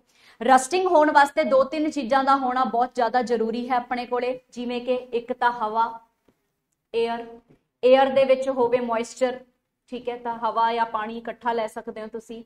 ਤੇ ਤੀਜੀ ਚੀਜ਼ ਜਿਹੜੀ ਜਿਹਦੀ ਆਪਾਂ ਨੂੰ ਆਵਸ਼ਕਤਾ ਪੈਂਦੀ ਹੈ, ਉਹ ਕੀ ਹੁੰਦੀ ਹੈ? ਆਕਸੀਜਨ ਠੀਕ ਹੈ। ਹਾਂ, ਹਵਾ 'ਚ ਆਏਗੀ। ਠੀਕ ਹੈ। ਲੇਕਿਨ ਅਗਰ ਕੋਈ ਇਹੋ ਜਿਹਾ ਏਰੀਆ ਹੈ ਜਿੱਥੇ ਮਤਲਬ ਆਪਾਂ ਕਈ ਵਾਰੀ ਕਰ ਲੈਂਦੇ ਆ ਨਾ ਉਹ ਵਾਲੀ ਰਿਐਕਸ਼ਨਸ ਜਿਹਦੇ ਵਿੱਚ ਆਕਸੀਜਨ ਮਤਲਬ ਬਾਕੀ ਆਪਾਂ ਬਾਹਰ ਕੱਢ ਦਿੰਨੇ ਆ ਉਧਰ ਠੀਕ ਹੈ। ਤਾਂ ਆਕਸੀਜਨ ਹੋ ਗਿਆ ਮੋਇਸਚਰ ਹੋ ਗਿਆ ਮਤਲਬ ਇਨ ਟੋਟਲ ਆਪਾਂ ਕਹਿ ਸਕਦੇ ਆ ਹਵਾ ਦੇ ਵਿੱਚ ਨਮੀ ਹੁੰਦੀ ਹੈ ਇਹਦੇ ਵਾਸਤੇ ਜੰਗ ਲੱਗਣਾ ਬਹੁਤ ਜ਼ਰੂਰੀ ਹੁੰਦਾ ਹੈ। ਰਸਟਿੰਗ ਅਗਰ ਹੋਣੀ ਹੈ ਤਾਂ ਇਹਨਾਂ ਚੀਜ਼ਾਂ ਕਰਕੇ ਹੀ ਹੋਊਗੀ। ਸੋ ਆਕਸੀਜਨ ਦੇ ਕਰਕੇ ਜਿਹੜੀ ਰਿਐਕਸ਼ਨ ਹੁੰਦੀ ਹੈ ਉਹਨੂੰ ਆਪਾਂ ਕੀ ਕਹਿੰਦੇ ਆ ਆਕਸੀਡੇਸ਼ਨ ਠੀਕ ਹੈ। ਹੁਣ ਬੇਟਾ ਜੰਗ ਲੱਗ ਜਾਂਦਾ ਤਾਂ ਜੰਗ ਤੋਂ ਬਚਾਉਣ ਵਾਸਤੇ ਆਪਾਂ ਕੀ ਕਰਦੇ ਆ ਆਪਣੇ ਲੋਹੇ ਦੀ ਚੀਜ਼ਾਂ ਨੂੰ ਪੇਂਟ ਕਰਦੇ ਆ ਪੇਂਟ ਦੇ ਨਾਲ ਕੀ ਹੁੰਦਾ ਹੈ? ਹਵਾ, ਪਾਣੀ ਆਕਸੀਜਨ ਦਾ ਕੰਟੈਕਟ ਖਤਮ ਹੋ ਜਾਂਦਾ ਹੈ। ਉਸ ਚੀਜ਼ ਨਾਲ ਤੇ ਜੰਗ ਨਹੀਂ ਲੱਗਦਾ। ਲੇਕਿਨ ਅਗਰ ਆਪਾਂ ਉਸ ਚੀਜ਼ ਨੂੰ ਜੰਗ ਲੱਗਣ ਵਾਸਤੇ ਛੱਡ ਦਾਂਗੇ, ਤਾਂ ਉਹ ਚੀਜ਼ ਰਸਟ ਲੱਗ ਲੱਗ ਕੇ ਖੁਰਨੀ ਸਟਾਰਟ ਹੋ ਜੂਗੀ। ਸੋ ਅਗਰ ਕੋਈ ਚੀਜ਼ ਖੁਰਨ ਲੱਗ ਜਾਂਦੀ ਹੈ, ਤਾਂ ਉਹਨੂੰ ਆਪਾਂ ਕੀ ਕਹਿੰਦੇ ਆ ਕੋਰੋਜਨ ਕੋਰੋਜਨ ਹੋ ਗਿਆ ਹੈ, ਠੀਕ ਹੈ? ਸੋ ਪੇਪਰ 'ਚ ਰਸਟ ਆਵੇ ਤਾਂ ਸਮਝ ਲਓ ਚੀਜ਼ ਨੂੰ ਜੰਗ ਲੱਗ ਗਈ ਹੈ। ਕੋਰੋਜਨ ਆ ਜਾਏ ਤਾਂ ਸਮਝ ਲਿਓ ਚੀਜ਼ ਖੁਰ ਚੁੱਕੀ ਹੈ ਜੀ, ਬਰਬਾਦ ਹੋ ਚੁੱਕੀ ਹੈ। ਐਨਾ ਲੋਹਾ ਕਮਜ਼ੋਰ ਹੋ ਗਿਆ ਕਿ ਜਿਹੜੀ ਇੱਕ ਮੋਟੀ ਸਾਰੀ ਰੋਡ ਹੁੰਦੀ ਸੀ, ਹੁਣ ਤੁਸੀਂ ਉਹਨੂੰ ਹੱਥ ਤੋਂ ਵੀ ਮੋੜੋਗੇ ਤਾਂ ਉਹ ਮੁੜ ਜਾਏਗੀ ਠੀਕ ਹੈ ਜੀ? ਸੋ ਐਨਾ ਕ ਬਦਲਾਵ ਜਿਹੜਾ ਹੈ, ਆ ਜਾਂਦਾ ਹੈ, ਠੀਕ ਹੈ ਜੀ? ਸੋ ਆਨਸਰ ਆਊਗਾ ਇਹਦਾ ਆਕਸੀਡੇਸ਼ਨ ਚਲਦੇ ਹਾਂ ਆਖਰੀ ਸਵਾਲ ਤੇ ਅੱਜ ਦੇ। ਅੱਜ ਦਾ ਆਖਰੀ ਸਵਾਲ ਦੇਖੀਏ ਕੀ ਹੈ। What is dry ice dry ice यानी कि ਸੁੱਕੀ ਕੀ ਹੈ ਬਰਫ਼ ਕੀ ਹੈ ਠੀਕ ਹੈ ਜੀ